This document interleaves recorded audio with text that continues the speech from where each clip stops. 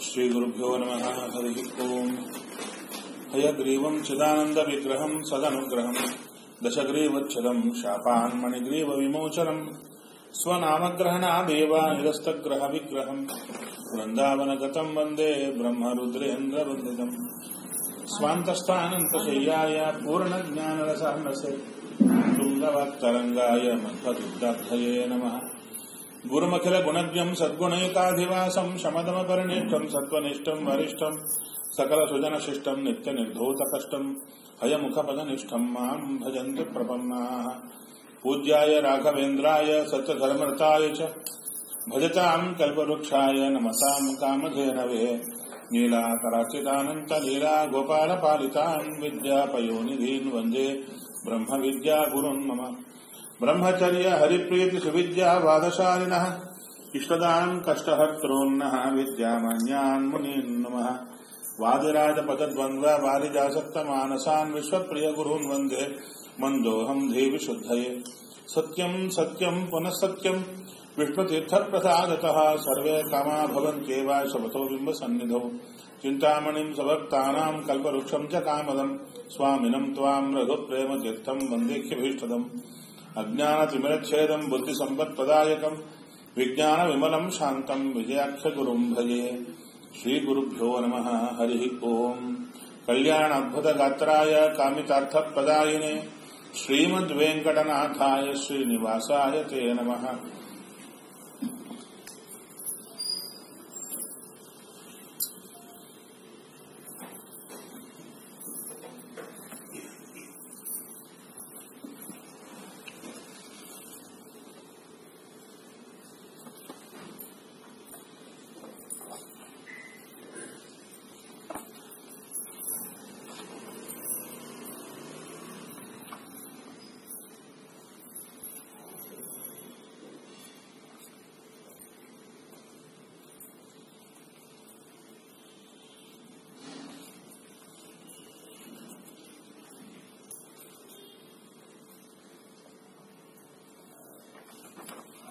ಶ್ರೀನಿವಾಸ.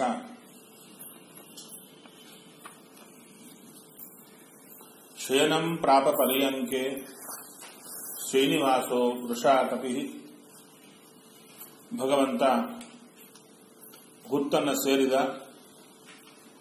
ಮಲಗ್ತಾ ಇದ್ದಾನೆ. ವಕುಲಾದೇವಿ ಬರ್ತಾ ಇದ್ದಾಳೆ.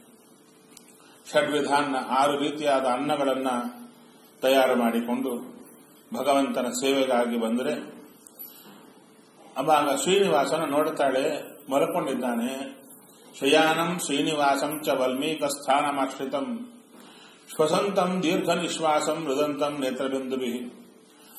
ಒಳ್ಳೆ ನಿಟ್ಟುಸಿರು ಬಿಡ್ತಾ ಇದ್ದಾನೆ ಕಣ್ಣಿಂದ ನೀರು ಸುರಿಸ್ತಾ ಇದ್ದಾನೆ, ಮಾತಾಡ್ತಾ ಇಲ್ಲ. ಅವಾಗ ಎದ್ದೇಳು ಮಹಾರಾಯ ಉತ್ತಿಷ್ಟ ಗೋವಿಂದ, ಕಿಂ ಶೇಷೆ ಪುರುಷೋತ್ತಮ, ಯಾಕೋ ಮಲಗ್ತೀಯ? ಯಾಕೆ ಮಲಗಬಾರದು? ನ ಕದಾಚಿತ್ ದಿವಾಸ್ವಾಪ. ಹಗಲು ಮಲಗಬೇಡ. ಹಗಲು ನೀನು ಮಲಗಿದ್ದು ಕಂಡೇ ಇಲ್ಲ ನಾವು. ಹಗಲು ಯಾಕೆ ಮಲಗಿದ್ದೀಯ? ಇದು ಉಪನಯನ ಕಾಲಕ್ಕೆ ಉಪದೇಶ ಕೊಡ್ತಾರೆ. ಮಾ ಸ್ವಾಪ್ಸಿ, ಹಗಲು ಮಲಗಬೇಡ ಅಂತ ಹೇಳ್ತಾರೆ. ಹಗಲು ಮಲಗಿದರೆ ಎಲ್ಲಾ ರೋಗಗಳಿಗೆ ನಾವು ಆಶ್ರಯ ಆಗ್ತೀವಿ. ಸೂರ್ಯೋದಯ ಆದ ಮೇಲೆ ಮಲಗಿದರೆ, ಇನ್ನ ಮಲಗಿದ್ರೆ, ನಂತರ ಹಗಲು ಮಲಗಿದರೆ ಎಲ್ಲಾ ಪಟ್ಟ ಸೂರ್ಯದೇವರ ಪ್ರಕರಣವೇ ಬರುತ್ತೆ. ಸೂರ್ಯದೇವರು ಎಲ್ಲಾರ ರೋಗ, ಯಾರಾದರೂ ಬೇಗ ಹೇಳ್ತಾರೋ ರೋಗ ತೆಗಿತಾರಂತೆ. ಆ ತೆಗೆದ ರೋಗ ಎಲ್ಲಿ ಕೊಡಬೇಕು? ಅದಕ್ಕೆ ಯಾರು ಮಲಗಿರ್ತಾರೋ ಅವ್ರು ಕೊಟ್ಟು ಹೋಗ್ತಾರೆ. ಟ್ರಾನ್ಸ್ಫರ್ ಅಲ್ಲಿಂದ ಅಲ್ಲಿ ಸುಮ್ಮನೆ ಹೊತ್ಕೊಂಡು ಹೋಗಿ ಮತ್ತೆ ಯಾಕೆ? ಅಲ್ಲಿಂದ ಅಲ್ಲಿ ಈಸಿ ಟ್ರಾನ್ಸ್ಫರ್ ಆಗ್ತದಲ್ಲ. Account transfer. ಅದೇ ತರ ನ ಕದಾಚಿತ್ ದಿವಾಸ್ವಾಪ ನ ಕೃತಂ ರೋದನಂ ಹರೇ. ಸ್ವಾಮಿ, ನೀ ಎಂದೂ ಅರ್ಥದ್ದು ನಾನು ನೋಡಿರಲಿಲ್ಲ. ಯಾಕೆ ಈ ದುಃಖ? ಆರ್ತನಾದವನಂತೂ ಯಾಕೆ ನೀನು ಮಾಡ್ತಾ ಇದೀಯ ನಿನ್ನ ಮನಸ್ಸಲ್ಲಿ ಏನಿದೆಯಾ ಅದು ಹೇಳು. ಪರಮಾನ್ನ ಮಾಡಿದ್ದೇನೆ. ಉಣ್ಲಿಕ್ಕೆ ಬಾರಯ್ಯ. ಅವಾಗ ಏನು ಮಾತಾಡಿದ ಭಗವಂತ? ಹೌದಾ? ಏನ್ ನೋಡಿದ್ಯೋ? ಏನಾದರೂ ಆ ಕಾಡಲ್ಲಿ ಹೇಳ್ತಾ ಇದ್ದಾರೆ. ಆರ್ತಿಹೀನೋಪಿ ದೇವತ್ವಂ ಆರ್ತವ ದೃಶಸೇ ಕುತಃ. ಅದು ಯಾವುದನ್ನು ಕಂಡು ನಿನ್ನ ಮನಸ್ಸು ಹೆಂಗೆ ವ್ಯಾಕುಲ ಆಗಿದೆ ಗೊತ್ತಿಲ್ಲ. ನೀನು ದುಃಖವೇ ಇರಲ್ಲ ನಿನಗೆ. ಅಂಥದ್ದು ದುಃಖ ಯಾಕೆ ಬಂತು? ನಂತರ ನೋಡು, ನನ್ನ ಮೇಲೆ ಆಣೆ. ಬಲರಾಮನ ಮೇಲೆ ಆಣೆ. ದೇವಕಿ ವಸುದೇವರ ಮೇಲೆ ಆಣೆ. ನಿನ್ನ ಮನಸ್ಸಿನಲ್ಲಿದ್ದದ್ದು ಹೇಳಬೇಡಿ. ಇನ್ನು ಈ ರೀತಿ ಊಟ ಮಾಡದೆ ಕೂತರೆ ದುಃಖ ಗೊತ್ತು ಹರಿಯೇ. ಸರ್ವಲೋಕಾರ್ಥ ಸಂಹರ್ತ ಪುಣ್ಯಮೂರ್ತೆ ನಮೋಸ್ತೆ. ನೀನು ಎಲ್ಲಾ ಲೋಕಗಳ ಆರ್ತಿಯನ್ನು ನಾಶನ ಮಾಡುವವ. ನೀನು ಹೀಗೆ ಕೂತರೆ ಹೇಗೆ? ಮನೆಯಲ್ಲಿ ಎಲ್ಲರೂ ಸೈಲೆಂಟ್ ಆಗಿ ಏನೋ ದುಃಖ ಪಡ್ತಿರ್ತಾರೆ. ಒಬ್ಬರ ತಿರುಗಾಡಿ ಎಲ್ಲ ಮಾಡ್ತಿರ್ತಾರೆ. ಇದಕ್ಕಿದಂತೆ ಅವರೊಬ್ಬರು ಸೈಲೆಂಟ್ ಆಗಿ ಮೂಲೆ ಕೂತ್ಕೊಂಡ್ಬಿಟ್ರೆ ಎಲ್ಲರಿಗೂ ಕೈಕಾಲ ಆಡಲ್ಲ ಯಾಕೆ ಇವ್ರು ಯಾಕೆ ಹಿಂಗಾಯ್ತು ಯಾಕೆ ಹಿಂಗಾಯ್ತು ಅಂತ ಅವ್ರ ಸುತ್ತು ಬಿಡ್ತಾರೆ. ಹೌದಾ? ಆ ಥರ ಭಗವಂತ ಎಲ್ಲರ ಆರ್ತಿಯನ್ನು ಪರಿಹಾರ ಮಾಡುವ. ಅವನೇ ಮೂಲೆ ಕೂತ್ರೆ ಮತ್ತೆ ಹೇಗೆ? ಅದಕ್ಕೆ ಮುಂದೆ ಹೇಳ್ತಾ ಇದ್ದಾಳೆ. ಕಾದುಷ್ಟ ಭವಿ ಕನ್ಯಾವ ವಾ ಸುರೋತ್ತಮ. ಕನ್ಯಾ ಸಂಗಮ್ ಸಮಾಪೇಕ್ಷ ಚಿತ್ತವೈಕಲ್ಯ ಮದತೆ. ಹೌದೇನಯ್ಯ? ನೀನು ಯಾರು ಹುಡುಗಿ ನೋಡಿದ್ಯಾ? ಹುಡುಗಿಯನ್ನ ಅವರನ್ನು ಅಂದ್ರೆ ಮದುವೆ ಆಗಬೇಕು ಅಂತ ನಿನ್ನ ಬುದ್ಧಿ ಕೆಡ್ತಾ ಇದೆಯಾ? ಆ ರೀತಿಯಾಗಿದೆಯೇನು ನಿನಗೆ? ಕೆಡ್ತಾರೆ ಕಾಚ ಪುಣ್ಯವತಿ ಬಾಲ ಬಾಲಂ ಭಕ್ತವಶಂ ಹರಿಂ ಮೋಹಯಾಮಾಸ ಕಾಮಾರ್ಥ ನಜಾನಾಮಿ ಜಾನಾಮಿ ಜಗದ್ಗುರು. ಅಯ್ಯ, ನಿನ್ನನ್ನ ಭಕ್ತವಶನಾದಂತಹ ನಿನ್ನನ್ನ ಮೋಹಗೊಳಿಸಿದಂತಹ ಈ ಹೆಣ್ಣು ಯಾರು ಅಂತ ನನಗೆ ಗೊತ್ತಾಗ್ತಾ ಇಲ್ಲ. ಯಾಕಂದ್ರೆ ಲಕ್ಷ್ಮೀದೇವಿಯನ್ನ ನೋಡಿಯೂ ನೀನು ಮೋಹಕ್ಕೆ ಒಳಗಾಗಲ್ಲ. ಲಕ್ಷ್ಮೀದೇವಿಗಿಂತ ಸುಂದರರಾದವರು ಜಗತ್ತಿನಲ್ಲಿ ಯಾರೂ ಇಲ್ಲ. ಮತ್ತೆ ಇನ್ಯಾರಯ್ಯ ನಿನ್ನ ಮೋಹಗೊಳಿಸಿದ್ದು? ಅವಾಗ, ಅಥವಾ ನನ್ನಿಂದ ಏನಾದರೂ ಕೆಲಸ ಮಾಡಿಸಬೇಕು ಅಂತ ಈ ತರ ಇದೆಯಾ ನನ್ನಿಂದ ಏನೋ ಕೆಲಸ ಆಗಬೇಕಾಗಿದೆ. ಯಾಕಂದ್ರೆ ನೀನು ಹತ್ರ ಯಾರು ಕೇಳೋರು, ನಾನೊಬ್ಬನೇ ಕೇಳೋದು. ನಾನೊಬ್ಬಳೆ ಆದರೆ ನನ್ನಿಂದ ಕೆಲಸ ಆಗಬೇಕು ಅಂತ ಮಾಡ್ತಾ ಇದೆಯಾ ಪದ ಗೋವಿಂದ ತತ್ಕಾರ್ಯ ಅಂತ ಕ್ಷಣ ಮಾತ್ರ ಕರೋಮ್ಯಹಂ ಕ್ಷಣದಲ್ಲಿ ಮಾಡಿಬಿಡ್ತೇನಯ್ಯ ಅಥವಾ ಮೃಗದ ಮೃಗವನ್ನು ಕ್ರೂರವಾದಂಥ ಚೋರರನ್ನು ನೋಡಿದ್ಯಾ ಭೂತಪ್ಪದ ಪಿಶಾಚಗಳನ್ನು ನೋಡಿದ್ಯಾ ಅವಾಗ ನೀವು ಯಂತ್ರ ಕಟ್ಟಿಸ್ಲೇನು, ಮಂತ್ರ ಹಾಕ್ಲೇನು? ಎಲ್ಲ ಹೇಳ್ತಾ ಇದ್ದಾಳೆ. ಅವಾಗ ಇನ್ನ ಮಾತಾಡ್ತಾ ಇಲ್ಲ ಭಗವಂತ. ಅವಾಗ ಆನೀತಂ ತತ್ರ ನಿಕ್ಷಿಪ್ಯ ತತ್ಸಮೀಪ ಉಪಾಗತ ಆ ತಂದದ್ದನ್ನ ಪಕ್ಕಕ್ಕಿಟ್ಟು ಬರ್ತಾ ಇದ್ದಾಳೆ. ದೇವರ ಪಾದವನ್ನ ಒತ್ತಿ ದೇವರನ್ನ ಸಂತೋಷಗೊಳಿಸ್ತಾ ಇದ್ದಾಳೆ. ಕೊನೆಗೆ ಹೇಳ್ತಾ ಇದ್ದಾಳೆ, ಅಪಾದ ಮೌರಿ ಪರ್ಯಂತಂ ಕರಾಭ್ಯಾಂ ಪರಿಮೃದ್ಧಜ ಅದೇನು ಭಾಗ್ಯವೋ ಆಕೆಗೆ. ಆ ದೇವರ ಅಪಾದ ಮೌಳಿ ಪರ್ಯಂತ ಎರಡೂ ಕೈಯಿಂದ ಆತನ ಒರೆಸ್ತಾ ಇದ್ದಾಳಂತೆ, ಹೆಲೋ ಮಹಾರಾಯ ಅಂತ. ನಂತರ ಇಷ್ಟು ಹೇಳಿದ್ರು ದೇವರು ಮಾತಾಡಿಲ್ಲ. ಅವಾಗ ಹೇಳ್ತಾಳೆ, ಇಷ್ಟು ಮಾಡಿದ್ದೇನು? ಮುಸುಗು ಹಾಕೊಂಡು ಮಲ್ಕೊಂಡಿದ್ದ? ಆ ಮುಸುಕನ್ನ ಬಲವಂತವಾಗಿ ತೆಗಿತಾ ಇದ್ದಾಳೆ ಪೃಥಕ್ತತ್ವ ಛನ್ನ ವಸ್ತ್ರಂ ಹಸ್ತೇನ ಪರಿಮಿತ ಮತ್ತು ನಿವರಿಸ್ತಾ ಇದ್ದಾಳೆ. ದೇವದೇವ ದೇವ ಜಗನ್ನಾಥ, ಪುರಾಣ ಪುರುಷೋತ್ತಮ, ಮನೋಗತಂ ಕರಿಷ್ಯಾಮಿ ನಾತ್ರಕಾರ್ಯ ವಿಚಾರಣ. ನಿನ್ನ ಮನಸ್ಸಿಗೆ ಏನು ಬಂದ್ರೆ ಅದು ಮಾಡ್ತೇನಯ್ಯ? ಹೇಳು ಅಂತ ಹೇಳಿದಾಗ, ಅವಾಗ ಅತಿ ದುಃಖೇನ ಮಂದಂ ಮಂದಂ ಮನೋಗತಂ ಉವಾಚ. ತುಂಬಾ ಕಣ್ಣಲ್ಲಿ ನೀರಾಗ್ತಾ ಮುಖದಲ್ಲಿ ದುಃಖ ಇಟ್ಟುಕೊಂಡು ಮಾತಾಡಿ ಶುರು ಮಾಡ್ತಾ ಇದ್ದಾನೆ. ನಾ ಮೋಹಯನ್ ಗಾಂಧರ್ವಿ ನ ಋಷಿಪುತ್ರಿ ನ ರಾಕ್ಷಸಿ ನ ಪಿಶಾಚಾಹ ಭೂತಗಣಾಹ ಪ್ರೇತಾವ ಮೇ ಭಯಾವಹ. ನನ್ನನ್ನ ಯಾವ ಕನ್ಯೆಯೂ ನನ್ನ ಮೋಹಕ್ಕೆ ಒಣಗ ಮಾಡಲಿಲ್ಲ. ಇನ್ನ ರಾಕ್ಷಸರು, ಪಿಶಾಚಿಗಳು, ಚೋರರು, ಇವರೆಲ್ಲರೂ ನನ್ನ ಮನ, ನನ್ನ ನಾಮಸ್ಮರಣೆ ಮಾಡಿದರೆ ಹತ್ತು ದಿಕ್ಕುಗಳಿಗೆ ಓಡೋಗ್ತಾರೆ. ಮತ್ತೆ ಅವರಿಂದ ನನಗೇನು ಭಯ? ಮತ್ತಿನ್ಯಾವುದಕ್ಕೆ ಮಯಾ ದೃಷ್ಟ ವರ ಕನ್ಯಾ ನಾಮನ ಪದ್ಮಾವತಿ ಶುಭಾ. ನಾನು ಒಳ್ಳೆ ಕನ್ಯನ ನೋಡಿದ್ದೆ. ತಾಂ ದೃಷ್ಟ್ವಾಮೇ ಮನೋಭ್ರಾಂತಂ. ಕಾಮ ಮೋಹ ವಶಂ ಗತಂ. ನಾನು ಅವಳನ್ನು ನೋಡಿದ ಕೂಡಲೇ ನನ್ನ ಮನಸ್ಸೆಲ್ಲ ಕಾಮ ಮೋಹದ ವಶವಾಯಿತು ನನ್ನ ಮನಸ್ಸು. ಅದರಿಂದ ಹೀಗಿದ್ದೇನೆ ಅಲ್ಲ, ಮೊದಲೇ ಕೇಳಿದ್ವಲ್ಲ, ಯಾರಾದರೂ ಹೆಣ್ಣುಡಿಗೆ ನೋಡಿದ್ಯಾ ಅಂದ್ರೆ ನನ್ನ ಯಾರು ಮೋಹಗೊಳಿಸಿಲ್ಲ ಅಂತ ಹೇಳಿ ಮತ್ತು ಈ ಮಾತಲ್ಲಿ ಯಾಕೆ? ಭ್ರಾಂತಂ ಕಾಮ ಮೋಹ ವಶಂ ಗತಂ ಅಂದ್ರು. ಅದಕ್ಕೆ ಸ್ವಲ್ಪ ಷೋಡಶಿ ಹೊರಚನಾಗಿರುತ್ತೆ ಯಾಕೆ ಅಂತ ಹೇಳಿದ್ರು. ನನ್ನ ಮನಸ್ಸೇನಾಯಿತು? ಈಕೆ ನೋಡಿದುಕೊಳ್ಳಿ ಭ್ರಾಂತ. ಭ್ರಾಂತ ಅಂದ್ರೆ ಸುತ್ತಾಗ್ತದೆ. ಭ್ರಾಂತ ಅಂದ್ರೆ ಭ್ರಮಣ ಅಂದ್ರೆ ಸುತ್ತಾಕೋದು ಸರಿಯಾಗಿ ನೀವು ನೆನೆಸ್ಕೊಂಡ್ರೆ ಷೋಡಶಿಯಲ್ಲಿ ನಮ್ಮ ಮನಸ್ಸಿನಲ್ಲಿ ಯಾವ ವಸ್ತು ಬರಬೇಕು? ನಮ್ಮ ಮನಸ್ಸಲ್ಲಿ ಭಗವದ್ ರೂಪಗಳಿರುತ್ತೆ, ವಸ್ತುಗಳಲ್ಲಿ ಭಗವದ್ ರೂಪ ಇರುತ್ತೆ. ವಸ್ತುಗಳಲ್ಲಿರುವ ಭಗವದ್ ರೂಪ ನಮ್ಮ ಮನಸ್ಸಿನಲ್ಲಿರುವ ಭಗವದ್ ರೂಪದ ಸುತ್ತು, ಸುತ್ತಾಕಿ ಸುತ್ತಾಕಿ ಹೊಟ್ಟೋದ್ರೆ ಅವರ ರೂಪಗಳ ಹಿಂದೆ ಮನಸ್ಸು ಹೋಗುತ್ತೆ. ಅಥವಾ ಪದಾರ್ಥದಲ್ಲಿರುವ ಭಗವದ್ ರೂಪಗಳ ಸುತ್ತು ನಮ್ಮ ಮನಸ್ಸಿನಲ್ಲಿರುವ ಭಗವದ್ ರೂಪಗಳು ಹೋಗಿ ಸುತ್ತಾಕಿದರೆ ಪದಾರ್ಥ ನಮ್ಮ ಮನಸ್ಸಿಗೆ ಬರುತ್ತೆ. ಪದಾರ್ಥದ ಕಡೆಗೆ ಮನಸ್ಸು ಹೋಗಬೇಕಾ? ಮನಸ್ಸಿನೊಳಗೆ ಪದಾರ್ಥ ಬರಬೇಕಾ? ಇದೇ ಆಗುತ್ತೆ ಅದಕ್ಕೆ ನನ್ನ ಮನಸ್ಸು ಚೆನ್ನಾಗಿ ನೋಡಿ. ಮೇ ಮನೋಭ್ರಾಂತಂ.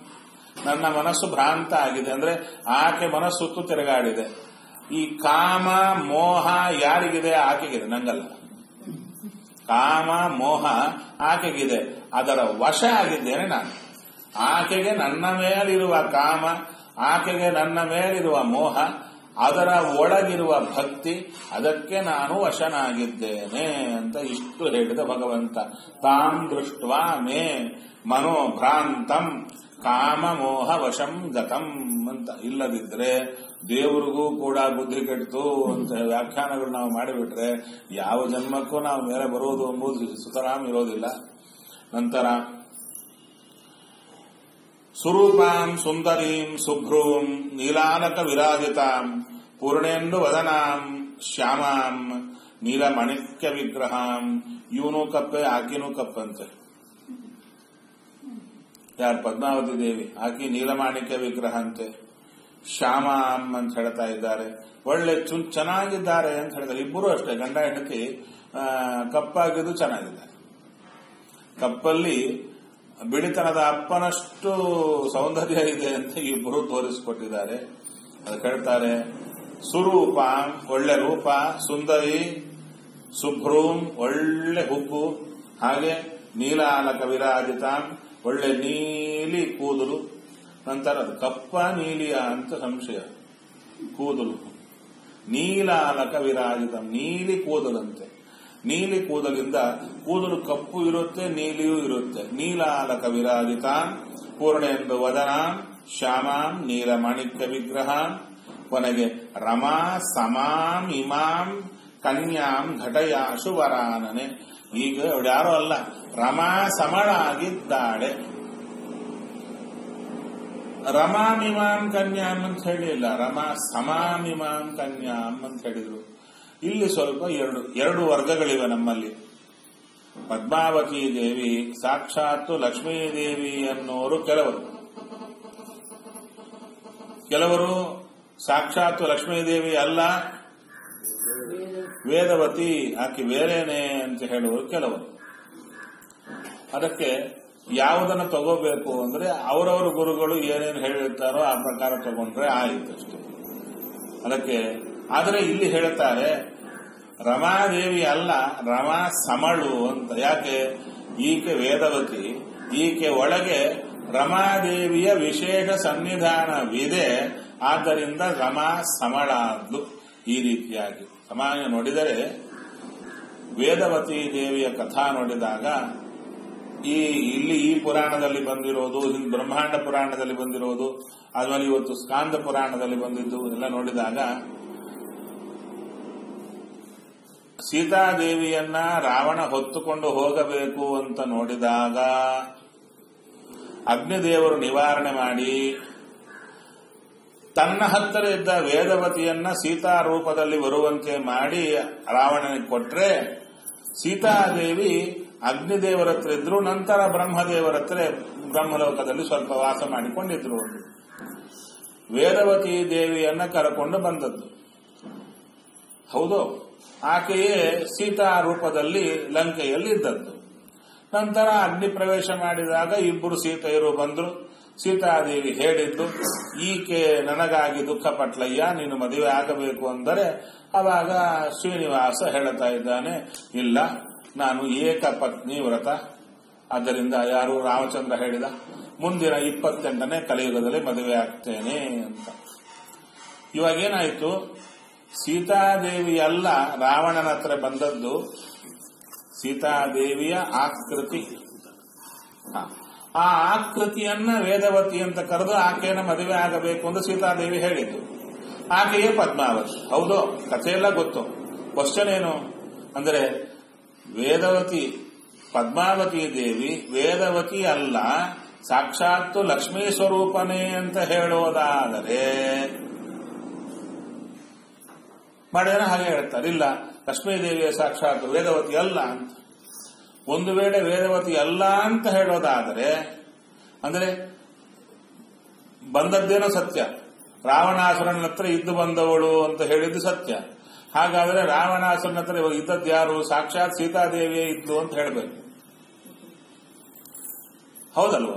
ಯಾಕಂದ್ರೆ ರಾವಣಾಸುರನ ಹತ್ರ ಇದ್ದು ಬಂದ ವೇದವತಿ ಇಲ್ಲಿ ಭೂಮಿಗೆ ಇಲ್ಲಿ ಬಂದ ಮೇಲೆ ಪದ್ಮಾವತಿ ಆದದ್ದು. ಆಕೆ ಸಾಕ್ಷಾತ್ ಲಕ್ಷ್ಮಿ ಅಂತ ಹೇಳಿದರೆ ರಾವಣಾಸುರನ ಹತ್ರ ಇದ್ದದ್ದು ಸಾಕ್ಷಾತ್ ಲಕ್ಷ್ಮಿ ಅಂತ ಹೇಳಬೇಕು. ಹೇಳಿದ್ರೆ, ಅವಾಗ ಈ ಗಡಿಬಿಡಿ ಅಲ್ಲ. ಅಂದ್ರೆ ಸೀತಾದೇವಿಯ ಆಕೃತಿಯನ್ನ ಮಾಡಿ ಮತ್ತು ಕಳಿಸಿ, ಇವು ಅದು ಸೀತಾದೇವಿಯನ್ನ ಕೈಲಾಸಕ್ಕೆ ಕರ್ಕೊಂಡು ಹೋಗಿ ಬ್ರಹ್ಮದೇವರ ಹತ್ರ ಕರ್ಕೊಂಡು ಹೋಗಿ, ಇವೆಲ್ಲ ಯಾಕಪ್ಪ? ಡೈರೆಕ್ಟ್ ಆಕಿನೇ ಹೋಗೋ ಕಾಲಕ್ಕೆ? ಸೀತಾದೇವಿಯೇ ಲಕ್ಷ್ಮಿ. ಆಕಿನೇ ರಾವಣಾಸುರ ಹತ್ರ ಹೋಗೋ ಕಾಲಕ್ಕೆ? ಇವೆಲ್ಲ ನಾಟಕ ಯಾಕೆ? ಕೂಡೋದಿಲ್ಲ. ಆದ್ದರಿಂದ ಅಲ್ಲಿ ಹೋಗಿ ಬಂದಂತ ಯಾರು ವೇದವತಿ ದೇವಿಯೇ ಸಾಕ್ಷಾತ್ತಾಗಿ ಇಲ್ಲಿ ಬಂದಿದ್ದಾಳೆ. ಹಾಗಾದ್ರೆ ರಮಾ ಸಮ ಅಂತ ಶಬ್ದಗಳು ಯಾಕೆ ಪ್ರಯೋಗ ಮಾಡುತ್ತಾರೆ ಅಂದ್ರೆ ವಿಶೇಷವಾಗಿ ಭಗವಂತನ ಸನ್ನಿಧಾನ ಪಾತ್ರರಾದ್ದರಿಂದ ರಮಾದೇವಿಯ ಸನ್ನಿಧಾನ ಜಾಸ್ತಿ ಅಂತ ಅರ್ಥ ಅಷ್ಟೇ ಹೊರತು, ಈಕೆಯೇ ರಮಾದೇವಿ ಅಂತ ಅರ್ಥ ಮಾಡಬಾರದು ಅಂತ ಕೆಲವರೆಲ್ಲರೂ ಹೇಳುತ್ತಾರೆ. ಕೆಲವರು, ಇಲ್ಲ ಇಲ್ಲ, ಪುರಾಣಗಳಲ್ಲಿ ಬಂದಿವೆ, ಆದ್ದರಿಂದ ಈಕೆಯೇ ರಮಾದೇವಿ ಅಂತ ಕೆಲವರು ಹೇಳುತ್ತಾರೆ. ಅದರಿಂದ ಅದರಲ್ಲಿ ತಲೆ ಕೆಡಿಸ್ಕೊಳ್ಳಿಕ್ಕೆ ನಾನು ಹೋಗಲಿಲ್ಲ. ಅದಕ್ಕೆ ತಲೆ ಕೆಡಿಸುವುದು ನಿಮಗೆ ಬಿಟ್ಟಿದೆ ನೀವು ಹೇಗೆ ಬೇಕಾದರೂ ಮಾಡಿಕೊಳ್ಬಹುದು ನಿಮ್ಮ ನಿಮ್ಮ ಗುರುಗಳು ಯಾರ್ಯಾರು ಹೇಗೆ ಹೇಳ್ತಾರೋ ಹಾಗೆ ನೀವು ಮಾಡಬಹುದು. ಆದರೆ ಅಲ್ಲಿ ವಾದ ಹೀಗಿದೆ. ಏನು? ಒಂದು ವೇಳೆ ಈಕೆಯೇ ಲಕ್ಷ್ಮಿ ಅಂತ ಹೇಳಿದರೆ ರಾವಣಾಸುರನ ಹತ್ರ ಸೀತಾದೇವಿಯೇ ಹೋಗಿದ್ದಾಳೆ ಅಂತ ಹೇಳಬೇಕಾಗುತ್ತೆ. ಅದರಲ್ಲಿ ಬೇರೆ ಮಾತಿರಲ್ಲ. ಇದು ಅಲ್ಲಿ ಬರೋ ವಿರೋಧ ಅಂತ ಹೇಳ್ತಾರೆ. ಅಲ್ಲಿ ಮಾಯಾವಿ ಪರಮಾನಂದ ಚಿತ್ರವಿದೆ ರಾಮಕೃಷ್ಣ ರಮಯಾ ಸಹಬೋಧ ಅಂದ್ರೆ ರಮ ಅಂತ ಬರುತ್ತೆ. ರಮಯ ಸಹಬೋಧತೆ ಅಂದ್ರೆ ರಮ. ಅಲ್ಲ, ಇಲ್ಲಿ ಶ್ರೀನಿವಾಸ ವೈಕುಂಠಂ ತತ್ವ ಮೋದತೆ ಅಂದ್ರೆ ಶ್ರೀಹೂ ಸಮೇತನಾಗಿ ಬಂದು ಮೋದಿಸ್ತಾ ಇದ್ದಾನಲ್ಲಿ ರಮಯಾಸಹ ಅಂದ್ರೆ ಶ್ರೀಹೂ ಸಮೇತ ಅಷ್ಟೇ. ಅಲ್ಲಿ ರಮಯಾಸಹ ಅಂತ ಹೇಳಿದರೆ ಪದ್ಮಾವತಿ ಸಹ ಅಂತ ಒಂದಿಲ್ಲ. ಪದ್ಮಾವತಿ ಸಹ ಅಂತ ಹೇಳಿದ್ರು. ಇನ್ನೊಂದು ನೀವು ಏನೇ ಹೇಳಿ. ರಮಯಾ ಸಹ ಅಂದಾಗ, ರಮ ಅಂದ್ರೆ ಪದ್ಮಾವತಿ ಇಟ್ಕೊಳ್ತೀರಾ? ಸರಿಯಪ್ಪ ಒಳ್ಳೇದೆ. ಮತ್ತೆ ಈ ಕ್ವಶನ್ ಉತ್ತರ ಕೊಡಬೇಕಾಗುತ್ತೆ. ಪದ್ಮಾವತಿ ಆದ್ರೆ, ವೇದವತಿ ಆಕೆ ಆದ್ರೆ, ಪದ್ಮಾವತಿ ಆದ್ರೆ ರಾವಣಾಸುರನ ಸೀತಾದೇವಿ ಇದ್ದಾಳೆ ಅಂತ ಹೇಳಬೇಕಾಗುತ್ತೆ. ಆ ಪ್ರಶ್ನೆಗೆ ಉತ್ತರ ಇಟ್ಕೊಂಡು ಏನ್ ಬೇಕಾದ್ರೆ ಅನ್ವಯ ಮಾಡ್ಬೋದು. ಅಲ್ವಾ? ಆದ್ದರಿಂದ ಅದೇ ರಮಯಾ ಸಹಮೋದತೆ ಅಂದ್ರೆ ಕೆಳಗೆ ಪದ್ಮಾವತಿ ರೂಪ ಇದ್ರೂ ಕೂಡ ಮೇಲೆ ಶ್ರೀನಿವಾಸ ಶ್ರೀಭೂ ರೂಪಗಳಿಂದ ವಿಹಾರ ಮಾಡುತ್ತಾ ಇದ್ದಾನೆ. ಅದಕ್ಕೆ ಇದು ಬ್ರಹ್ಮಾಂಡಕ ಪುರಾಣ, ಆಮೇಲೆ ಸ್ಕಂದ ಪುರಾಣದಲ್ಲಿ ಹೇಳ್ತಾರೆ, ಶ್ರೀನಿವಾಸ ಏನು ವೈಕುಂಠದಿಂದ ಬಿಟ್ಟು ಬಂದಲ್ಲ, ಅದು ಹಾಗಲ್ಲ, ಮೊದಲೇ ಬಂದು ನಿಂತಿದ್ದ ಅಂತ ಇಲ್ಲಿ. ಮೊದಲೇ ಬಂದು ಶ್ರೀನಿವಾಸ ಇಲ್ಲಿ ನಿಂತು ಬಿಟ್ಟಿದ್ದಾನೆ. ಎಲ್ಲ ಶ್ರೀ ಭೂ ಸಮೇತನಾಗಿ ಬಂದು ದೇವತೆಗಳ ಸಮೇತನಾಗಿ ಮೊದಲೇ ನಿಂತಿದ್ದ. ನಂತರ ಮತ್ತು ವೈಕುಂಠದಿಂದ ಬಂದಂತೆ ಮಾಡಿದ ಅಷ್ಟೇ ಹೊರತು ಇಲ್ಲಿ ಮೊದಲೇ ಸ್ವಾಮಿ ನಿಂತಿದ್ದ ಅಂತ ಚೆನ್ನಾಗಿ ತಿಳಿಸಿಕೊಡ್ತಾ ಬರ್ತಾರೆ. ನಂತರ ಮತ್ಪುಣ್ಯತಾಂ ಹೇಳ್ತಾರೆ, ಈಕೆನ ನೋಡ್ಲಿಕ್ಕೂ ಆಗಲ್ಲ. ಜನ್ಮ ಜನ್ಮಾರ್ಜಿತೇನ ಇವ ಪುಣ್ಯೇನ ಏಷಾಹಿ ಲಭ್ಯತೆ. ಎಷ್ಟು ಜನ್ಮಗಳ ಪುಣ್ಯ ಮಾಡಿಕೊಂಡ್ರೆ ಈ ಹುಡುಗಿ ಸಿಗ್ತಾಳು ಏನೋ. ಆದ್ದರಿಂದ ನನ್ನ ಪುಣ್ಯ ಪಕ್ವ ಆಯಿತು ಅಂತ ಕಾಣುತ್ತೆ. ಅದಕ್ಕೆ ಈ ಹುಡುಗಿ ಸಿಕ್ಕಿದ್ದಾಳೆ. ಆದ್ದರಿಂದ ನನಗೆ ಆ ಹುಡುಗಿಯನ್ನ ಘಟನೆ ಮಾಡು. ಮುಂದೆ ಹೇಳ್ತಾ ಇದ್ದಾರೆ ತಾಡಿತೋಹಂ ಶಿರಾವರ್ಷೈ ಹತಾಶ್ಕೋಸ್ಮಿ ವರಾನನೆ ಮಜ್ಜೀವನಂ ವೃಥಾ ಮಾತರ್ ಜಾತಂ ವೈ ವೆಂಕಟಾಚಲೆ. ಇನ್ನೊಂದು ಕಡೆ ನೋಡಿದರೆ ನಾನು ಕುದುರೆ ಸತ್ತು ಹೋಗಿದೆ. ನಾನು ಒಬ್ಬನೇ ಬಂದು ಕೂತಿದ್ದೇನೆ. ಅಷ್ಟೇ ಅಲ್ಲ, ನಾ ಬಂದದ್ದೇ ಪದ್ಮಾವತಿಗಾಗಿ. ಅವಳೇ ನನ್ನ ಬೇಡ ಅಂತ ಹೇಳಿದ್ದಾಳೆ. ಅವಳ ಮದುವೆ ಮಾಡಿಕೊಳ್ಳಿಕ್ಕೆ ನಾನು ಬಂದೆ ಕಲ್ಲಿನ ಹೊಡೆದು ಕಳಿಸ್ತಾ ಇದ್ದಾಳೆ ಏನು ಪ್ರಾರಂಭವೋ, ಏನೋ ಶ್ರೀನಿವಾಸ ಹೇಳ್ತಾ ಇದ್ದಾನೆ. ಪುತ್ರೋಮೇ ವೈರಮಾಪನ್ನ ಬ್ರಹ್ಮದೇವರೇ ನನ್ನ ವೈರ ಶತ್ರುವಾಗಿಬಿಟ್ಟಿದ್ದಾನೆ ಹಣೆಯಲ್ಲಿ ಬೇರೆ ಬರೆದು ಬಿಟ್ಟಿದ್ದಾನೆ. ಕಿಂ ಕೃತಂ ಪೂರ್ವಜನ್ಮನಿ, ಏನು ಆ ಪೂರ್ವಜನ್ಮದಲ್ಲಿ ಮಾಡಿಕೊಂಡಿದ್ದೀನೋ, ಏನೋ.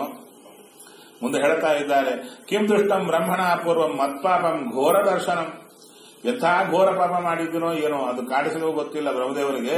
ಈ ತರ ತತ್ ಪಾಪಂ ಅನುಸೃತ್ಯ ಇವ ಘಟನ ಕರೋದ್ವಿಧಿ ಆ ಪಾಪ ಇಟ್ಟುಕೊಂಡೇ ಈ ತರ ಇಲ್ಲದಿದ್ರೆ ನಾನು ಕೇಳಿದ ಕೂಡಲೇ ಹುಡುಗಿ ಒಪ್ಪಬೇಕಲ್ಲ ಗಾಂಧರ್ವ ವಿಧಿಗೆ. ಒಪ್ಪಿಲ್ಲ, ಕಲ್ಲಿಂದ ಹೊಡೆದು ಕಡಿಸಿದ್ದು ಅಂದ್ರೆ ಏನೋ ಪಾಪ ಕೂತಿದೆ ನಂದು. ನೋಡಿ ಒಳ್ಳೆ ವಿಚಾರಗಳನ್ನು ಹೇಳ್ಕೊಡ್ತಾ ಇದ್ದಾನೆ ಶ್ರೀನಿವಾಸ. ನಿಮ್ಮ ಹಣೆ ಬರ ಏನಾದ್ರು ತಪ್ಪಾದ್ರೆ ನಿಮ್ ಹಿಂದೆ ಬ್ರಹ್ಮದೇವನ ಬೈಬೇಡಿ. ನಿಮ್ದೇ ಕರ್ಮ ಇರುತ್ತೆ, ಅದನ್ನ ನೋಡ್ಕೊಳ್ಳಿ ಅಂತ ಚೆನ್ನಾಗಿ ಹೇಳ್ತಾ ಇದ್ದಾನೆ. ಕೊನೆಗೆ ಹೇಳ್ತಾ ಇದ್ದಾರೆ, ಸರಿ. ನಕರಿತ್ಯಸಿ ನಕರಿಷ್ಯಸಿ ಚೇದ್ವಾರೆ ದದಾಮೆ ಮರಣಂ ಧ್ರುವಂ ಸಹಾಯಂ ಕುರುಮೆ ಅಂತಾನೆ ನನಗೆ ಸಹಾಯ ಮಾಡು. ನೀನು ಮಾಡಿಲ್ಲ, ನಾನು ಖಚಿತವಾಗಿ ಸತ್ತು ಹೋಗ್ತೇನೆ ನೀನು ಸಹಾಯ ಮಾಡದಿದ್ರೆ. ಯಾರಾದರೆ ಸಾಯೋ ಕಾಲಕ್ಕೆ ಹಿಡಿದು ಅವರಿಗೆ ಜೀವನೋಪಾಯ ಮಾಡಿಕೊಡುತ್ತಾರೋ ಅವರು ವಿಶೇಷವಾಗಿ ಪುಣ್ಯ ಮಾರ್ಗದಿಂದ ಹೋಗ್ತಾರಮ್ಮ. ಮತ್ತೆ ನಾನಂತೂ ಸಾಯಕ್ಕೆ ಸಿದ್ಧನಾಗಿದ್ದೇನೆ. ನೀನು ಸಹಾಯ ಮಾಡದಂಗಿದ್ರೆ ಅದಕ್ಕೆ ಮಾಡು ಅಂತ ಲೌಕಿಕ ದೃಷ್ಟಿ ಅನುಸಾರವಾಗಿ ಭಗವಂತ ಹೇಳ್ತಾ ಇದ್ದಾನೆ. ತದನಂತರ, ತ್ವಮ್ಮೆ ಮಾತಾ, ಪಿತಾದೇವಿ ನೀನೇ ನನ್ನ ಅಪ್ಪ ನೀನೇ ನನ್ನ ಅಮ್ಮ, ಭ್ರಾತ ಮಾತುಲ ಏವಚ ಅಣ್ಣ, ಸೋದರ ಮಾವ ನೀನೇ ಪ್ರಹ್ಲಾದ, ನೀನೇ ಅಕ್ರೂರ ನೀನೇ ಧ್ರುವ, ನೀನೇ ಗಜೇಶ್ವರ ಎಲ್ಲ ಹೇಳ್ತಾ ಇದ್ದಾನೆ. ಪಟ್ಟಿ ಕೊಡ್ತಾನೆ ಮಹಾನುಭಾವ. ಹೇಳ್ತಾನೆ ತ್ವಮುದ್ಧವೋ ಮೇ ಭಕ್ತಶ್ಚ, ತ್ವಂ ಕಿರೀಟಿ ಬಲಿಸ್ತಥ ಅಜಾಮಿಲೋ ದ್ರೌಪದಿ ಚ, ಭಕ್ತೋ ಮೇ ತ್ವಂ ವಿಭೂಷಣ, ಏಕೆ ಪ್ರಾಣ ಸಮಾಭಕ್ತ ಇವರೆಲ್ಲ ನನ್ನ ಪ್ರಾಣ ಸಮರಾದ ಭಕ್ತರು. ದೇವರಲ್ಲಿ ಎಷ್ಟು ಕೊಡ್ತಾ ಇದ್ದಾರೆ ಅನ್ಯೇ ಭಕ್ತಾಶ್ಚ ಏಚತೆ ಇನ್ನ ಯಾರ್ಯಾರು ಭಕ್ತರಿದ್ದಾರೋ ಅವರೆಲ್ಲ ಸರ್ವಂ ತ್ವಮೇವ ವಕುಲೇ ಎತತ್ ಕಾರ್ಯಂ ಸಮಾಚಾರ. ಅವೆಲ್ಲ ನೀನೇ ಆಗಿದ್ದೀಯ. ಸರಿ, ಇಲ್ಲಿ ದೇವರು ಸುಮ್ಮನೆ ನಾಟಕಕ್ಕ ಹಾಗೆ ಹೇಳಿದ್ನೋ ನಿಜವಾಗೂ ಹೌದು. ನಿಜವಾಗೂ ಅಂದ್ರೆ ಹೇಗೆ? ಅವರೆಲ್ಲ ಈತ ಹೇಗಾಗ್ತಾರೆ? ಜೀವ ಜೀವ ಬೇರೆ ಅಂದ್ರೆ ಅದಕ್ಕಂದ್ರು ಹಾಗಲ್ಲ. ಆಯಾ ಎಲ್ಲಾ ಭಕ್ತರಿದ್ದಾರೆ. ಅವರೊಳಗಿದ್ದು ಆ ಭಕ್ತಿಯನ್ನು ಕೊಟ್ಟು ಅವರವರಿಂದ ಆಯಾ ಕಾರ್ಯಗಳನ್ನು ಮಾಡಿಸಿ ಆ ಹೆಸರನ್ನು ತಂದುಕೊಟ್ಟ ರೂಪವೇ ಆಯಾ ಹೆಸರಿಂದ ನಿಂತಿದೆ. ಅಕ್ರೂರ, ಧ್ರುವ, ಪ್ರಹ್ಲಾದ, ಬಲಿ ಅಂತ. ಆದರೆ ಆ ಭಗವದ್ ರೂಪವೇ ಪ್ರಧಾನ. ಅದಕ್ಕೆ ಇಲ್ಲಿ ಹೇಳ್ತಾ ಇದ್ದಾಳೆ. ನೋಡಿ, ಒಂದು ರೂಪದೋಳ್ ಅನಂತ ರೂಪಗಳು ಇರಲೇಬೇಕಲ್ವಾ? ಹಾಗಾದರೆ ಅನಂತ ರೂಪಗಳಲ್ಲಿ ಈಕೆ ಬಿಂಬ ಒಂದು ರೂಪ. ಅಂತ ಕಾಲಕ್ಕೆ ಮಿಕ್ಕ ರೂಪಗಳೆಲ್ಲ ಇರಬೇಕೋ ಇಲ್ವೋ? ಪ್ರಹ್ಲಾದನೊಳಗಿರುವ ಪ್ರಹ್ಲಾದ ಮರೂಪ ಹೇಳಿ, ಸತ್ಯವೋ ಅಲ್ವೋ? ಶ್ರೀನಿವಾಸ ಹೇಳಿದ್ದು. ಎಲ್ಲ ರೂಪಗಳಿವೆ. ಅಲ್ಲ, ಅದು ನಮ್ಮಲ್ಲೂ ಇರುತ್ತೆ. ನಮ್ಮಲ್ಲೂ ಇರುತ್ತೆ. ಅಂತ ಕಾಲಕ್ಕೆ ದೇವರು ಹೇಳಿದಂತ ವಿಶೇಷ ಏನು ಅಲ್ಲ, ಅಲ್ಲಿ ಹೆಚ್ಚು ಪ್ರಕಟವಾಗಿ ನಿಂತಿವೆ. ಆಯಾ ಭಕ್ತರಲ್ಲಿ ಏನು ವಿಶೇಷವಾದ ಭಗವತ್ ರೂಪಗಳು ನಿಂತು ಅವರಿಗೆ ವಿಶೇಷ ಭಕ್ತಿಯನ್ನು ಕೊಡ್ತಿವೆಯೋ, ಆ ರೂಪಗಳೆಲ್ಲ ಈಕೆಯಲ್ಲಿ ವಿಶೇಷ ಭಕ್ತಿಯನ್ನು ಕೊಡಲಿಕ್ಕೆ ಸಿದ್ಧವಾಗಿವೆ ಅಂತರ್ಥ. ಅದು ಹೇಳ್ತಾ ನಂತರ, ಇಲ್ಲದಿದ್ರೆ ಈ ಒಂದು ತತ್ವಜ್ಞಾನವಿಲ್ಲದೆ ಸುಮ್ಮನೆ ವರ್ಷೇ ವರ್ಷ ಬಂದ, ತಿಂದ, ಹೋದ ಅಂತ ಈ ಕಲ್ಯಾಣ ಕೆಡ್ತಾ ಹೋಗ್ಲಿಕ್ಕ ನಾವಿರೋದು? ಅದಲ್ಲ, ಒಳಗೆ ರಹಸ್ಯಗಳು ತುಂಬಾ ಕೂತಿವೆ. ಅದಕ್ಕೆ ಹೇಳ್ತಾರೆ, ಒಂದೊಂದು ವರ್ಷನೂ ಅದೇ ಹೇಳ್ತಾ ಬಂದಾಗ, ಒಂದೊಂದು ವರ್ಷ ಹೇಳಿದ್ದು ಇನ್ನೊಂದು ವರ್ಷ ಹೇಳಿಲ್ಲ. ಆ ತರ ಅಪರೂಪಾರ್ಥಗಳು ಹೊಳಿತಾ ಬರುತ್ತೆ ಅಂತ ಶ್ರೀನಿವಾಸ ಕಲ್ಯಾಣದ ವಿಷಯವನ್ನು ಹೇಳ್ತಾರೆ. ಇನ್ನ ಈ ಶ್ರೀನಿವಾಸ ಕಲ್ಯಾಣ ಐಕೋರಾಚಾರ ಅಂತ ಮಹಾನುಭಾವರ ಕೈಗೆ ಸಿಕ್ಕರೆ, ಓ ನೂರಾರು ಅರ್ಥ ಹೇಳಿಬಿಡ್ತಾರೆ ಅದ್ಭುತವಾದ ಅರ್ಥಗಳು ಹೇಳ್ತಾ ಹೋಗ್ತಾರೆ. ಮುಂದೆ ಹೇಳ್ತಾ ಇದ್ದಾರೆ, ಯಾರಾದರೆ ಮದುವೆ ಮಾಡಿಸ್ತಾರೋ, ಅವ್ರಿಗೆ ಎಷ್ಟು ಪುಣ್ಯ ಬರುತ್ತೆ? ಗವಾನ್ ಕೋಟಿ ಸಹಸ್ರೇಣ. ಕೋಟಿ ಸಾವಿರ. ಕೋಟಿ ಸಾವಿರ ಆಕಳು, ಆದ್ಮೇಲೆ ಹತ್ತು ಸಾವಿರ ಕುದುರೆಗಳು ಸುವರ್ಣ ತಿರದಾನ ಇವೆಲ್ಲ ಮಾಡಿದರೆ ಎಷ್ಟು ಫಲವೋ ಅಷ್ಟು ಫಲ ಮಾಂಗಲ್ಯ ವರ್ಧನ ಅದರಿಂದ ನೀನು ಮಾಡಮ್ಮ. ಅವಾಗ ಹೇಳ್ತಾ ಹೇಳಿದ್ದಾಳಪ್ಪ ಹುಡುಗಿ. ಹೇಗೆ ಹೋಗ್ಬೇಕು? ತನ್ನ ಮಾರ್ಗಂಬದ ಗೋವಿಂದ ಗಚ್ಚಾಮಿ ಕರುಣಾನಿಧೆ. ಆ ಅಂತ ಕೇಳಿ ಆ ಮಾರ್ಗವನ್ನ ಹೇಳು. ಹೇಗೆ ಹೋಗಬೇಕು? ಅಷ್ಟಲ್ಲದೆ ನೀನು ಇಷ್ಟು ನೀನು ಕೇಳಬೇಕಾದರೆ ಯಾರೋ ಆಗಿರಬೇಕವಳು. ಅವಳ ಕಥೆಯನ್ನ ಹೇಳು ಅಂತ ಹೇಳಿದಾಗ ಅವಾಗ ಹೇಳ್ತಾ ಇತಿ ಆಜ್ಞಪ್ತ. ಅಂತ ಮಾಡಿದ್ರು ಹೇಳ್ತಾರೆ. ಆಕೆ ಆಜ್ಞೆ ಬೇ ಹೇಳೋ ಶ್ರೀನಿವಾಸ? ಆಜ್ಞೆ ಮಾಡಿದ್ದಂತೆ ಆಜ್ಞಪ್ತ ವಿರಿಂಚೇಶ ವಿನತಾಂಘ್ರಿ ಸರೋರ್ಹ ಬ್ರಹ್ಮಾದಿ ದೇವತೆಗಳೇ ತಲೆವಾಗಿ ಯಾರಿಗೆ ನಮಸ್ಕಾರ ಮಾಡುತ್ತಾರೋ ಅಂತ ಶ್ರೀನಿವಾಸನ ಇಟ್ಕೊಂಡು "ಏ, ಸ್ವಲ್ಪ ಹೇಳೋ ಅಂತ ಹೇಳಿದ ಕೂಡಲೇ ಹೇಳಲಿಕ್ಕೆ ಶುರು ಮಾಡ್ತಾ ಇದ್ದ. ಅದಕ್ಕೆ ಆತನ ಆಜ್ಞೆ ಮಾಡಿದ್ದಾಕೆ ಅಂದ್ರು ಉವಾಚ ವಚನಂ ಮಂದಂ ಬಕುಲಾಂ ಧರಣೀಧರ ಆ ಸ್ವಾಮಿ ವರಾಹರೂಪಿ ಶ್ರೀನಿವಾಸ ಹೇಳಲಿಕ್ಕೆ ಶುರು ಮಾಡಿದ ಅಂದ್ರು। ಇಲ್ಲಿ ಇಲ್ಲೂ ತುಂಬಾ ವಿಷಯಗಳಿವೆ।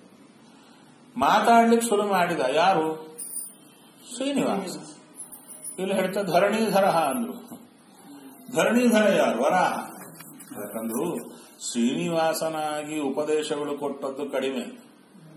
ಹೆಚ್ಚಿಗೆ ಉಪದೇಶ ಇರೋದೆಲ್ಲ ಚಾತುರ್ಮಾಸ ಮಹಾತ್ಮ್ಯ ಮಹಾತ್ಮ್ಯ ಈ ಮಹಾತ್ಮ್ಯ ಎಲ್ಲಾ ಮಹಾತ್ಮ್ಯಗಳೆಲ್ಲ ಕೊಟ್ಟದ್ದು ವರಾಹ. ಉಪದೇಶ ಕೊಟ್ಟದ್ದೇ ವರಾಹ.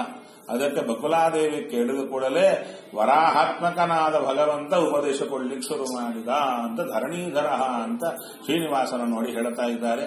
ಅಯ್ಯ, ನೋಡಮ್ಮ, ಹಿಂದೆ ನಾನು ರಾಮ ರೂಪದಿಂದ ಅವತಾರ ಮಾಡಿದ್ದೆ. ನನ್ನ ಅಪ್ಪ ಅಮ್ಮನ ಮಾತು ಮಾತು ಕೇಳಿಕೊಂಡು ದಂಡಕಾರಣ್ಯಕ್ಕೆ ಹೋಗಿದ್ದೆ. ರಾವಣ ಸೀತೆಯನ್ನು ಹೊತ್ತುಕೊಂಡು ಹೋಗ್ಲಿಕ್ಕೆ ಹೋದಾಗ ಅವಾಗ ಅಗ್ನಿದೇವರು ಶಿಷ್ಯೋಸಿ ಪರಮೋದಾರಮ ಕಲ್ಯಾಣ ರಾವಣ, ಹೇ ರಾವಣ, ನನ್ನ ಶಿಷ್ಯನಪ್ಪ, ನೀನು ನನಗೆ ಬಹಳ ವಿಶೇಷವಾಗಿ ನಿತ್ಯ ಹೋಮ ಮಾಡಿ ತುಪ್ಪ ಹಾಕ್ತಾ ಇರ್ತೀಯ. ಅದಕ್ಕೆ ನಿನಗೆ ಅನ್ಯಾಯ ಆಗಬಾರದು. ಈಕೆ ವಿಪ್ರಭಾರಿಯ ಸೀತಾ ಅಲ್ಲ. ಆದ ಕಾರಣ ಈಕೆಯನ್ನು ಬಿಟ್ಬಿಡು. ವಿಪ್ರಭಾರಿಯನ್ನು ಬಿಟ್ಟು ಸೀತೆಯನ್ನು ಕರ್ಕೊಂಡು ಹೋಗು. ಅಲ್ಲ, ಸೀತೆ ನಿಮ್ಮ ಹತ್ರ ಹೇಗೆ ಬಂದು, ರಾಮದೇವರು, ನೀನು ಯಾವಾಗಾದ್ರೂ ಹೊತ್ಕೊಂಡು ಹೋಗ್ತೀಯ ಅಂತ ಸಂಶಯ ಪಟ್ಟು ಮೊದಲೇ ನನ್ನ ಹತ್ರ ಸೀತೆಯನ್ನ ಇಟ್ಟು, ವಿಪ್ರಭಾರಿಯನ್ನ ನನ್ನ ಹತ್ರ ಇಟ್ಟು ತನ್ನ ಹತ್ರ ಇಟ್ಕೊಂಡು ಕರ್ಕೊಂಡು ಹೋಗ್ತಾ ಇದ್ರು. ಇವಾಗ ನೀನು ವಿಪ್ರಭಾರಿಯನ್ನ ಕರ್ಕೊಂಡು ಹೋಗ್ತಾ ಇದೀಯ? ಅದರಿಂದ ಬಿಟ್ಟು ಬಿಡು ಅಂತ ಹೇಳಿದಾಗ ಆಕೆಯನ್ನ ಬಿಟ್ಟು ಈಕೆಯನ್ನ ಕರ್ಕೊಂಡು ಹೋದ್ರು. ನಂತರ ವಿಶೇಷ ಸೀತಾಕೃಧರಾಂಕೃತ್ವ ಆ ವೇದವತಿಯನ್ನ. ವಿಶೇಷವಾಗಿ ಪ್ರಾಗ್ ರಾವಣ ಅವಚಾರೇಣ ಪ್ರತಿಶುದ್ಧಿತ ತದ್ವಧಂ ಕೃತ ಪ್ರವೇಶಾನ್ ಕ್ರೋಧೇನ ಸಮಿಥ್ಯೆ ಜಾತವೇದಸಿ. ತಾನು ಭಗವಂತನ ಕುರಿತಾಗಿ ತಪಸ್ಸನ್ನ ಮಾಡುವಾಗ ರಾವಣಾಸುರ ಆಕೆಯ ಮೇಲೆ ಅತ್ಯಾಚಾರವನ್ನ ಮಾಡಲಿಕ್ಕೆ ಹೋದಾಗ ಆಕೆ ಶಾಪವನ್ನ ಕೊಡ್ತಾಳೆ. ನಿನ್ನ ಮರಣಕ್ಕೆ ನಾನು ಕಾರಣ ಆಗ್ತೇನೆ ಅಂತ ಹೇಳಿ ಅಗ್ನಿಯಲ್ಲಿ ಪ್ರವೇಶ ಮಾಡುತ್ತಾಳೆ. ಆಕೆಯನ್ನ ಸೀತಾಕೃತಿ ಧರಾಂಕೃತ್ವ ಆಕೆಗೆ ಸೀತೆಯ ಆಕೃತಿ ಬರುವಂತೆ ಮಾಡಿ ಯಾರು ನಮ್ಮ ಅಗ್ನಿದೇವರೇ ರಾವಣಾಸುರನ ಕೈಗೆ ಕೊಡತಾ ಇದ್ದಾರೆ. ಇಮಾಂ ಸೀತಾಂ ಸಮಾದಾಯ ಗಚ್ಚ ಶೀಘ್ರಂ ನಿಶಾಚರ ಅಂತ ಹೇಳಿದಾಗ, ಈ ಸೀತೆಯನ್ನು ಕರ್ಕೊಂಡು ಹೋಗುವಂತಾಗ ಆತನ ಆ ಮಾತಿಗೆ ಕರ್ಕೊಂಡು ಹೋಗ್ತಾ ಇದ್ದಾರೆ. ತದನಂತರ ಅಗ್ನಿ ಪ್ರವೇಶ ಮಾಡಿದ ಮೇಲೆ ಇಬ್ಬರು ಬಂದ್ರು. ಸೀತಾದೇವಿ ಹೇಳುತ್ತಾ ಇದ್ದಾಳೆ. ಮದ್ದುಃಖಂ ಹಿ ಹೇತಯ ಭುಕ್ತಂ ನಿರ್ಣಮಿತ್ತಂ ದಯಾರುಣ. ಅಗ್ನಿ ಪ್ರವೇಶ ಮಾಡಿದ ಇಬ್ಬರು ಬಂದ್ರು. ಸೀತಾದೇವಿ ಹೇಳ್ತಾಳೆ ರಾಮಚಂದ್ರನಿಗೆ, ನನಗಾಗಿ ದುಃಖವನ್ನ ಈಕೆ ಸಹಿಸಿದ್ದಾಳಯ್ಯ. ಆದ್ದರಿಂದ ತಾಮಂಗೀಕುರು ಗೋವಿಂದ ವಿವಾಹಂ ವಿಧಿಪೂರ್ವಕಂ. ವಿಧಿಪೂರ್ವಕವಾದ ವಿವಾಹವನ್ನು ನೀನು ಅಂಗೀಕಾರ ಮಾಡಬೇಕು ಅಂದಾಗ ರಾಮಚಂದ್ರ ಹೇಳುತ್ತಾನೆ ಏಕಪತ್ನೈವತ ವ್ರತಂ ಯಜ್ಞ ಕೃತಂ ಜಾನಾಸಿ ಭಾಮಿನಿ. ದ್ವಾಪರೇ ಅಂಗೀಕರೋಮಿತಿ ಬಹುನಾಂ ವರದೋಯತಃ.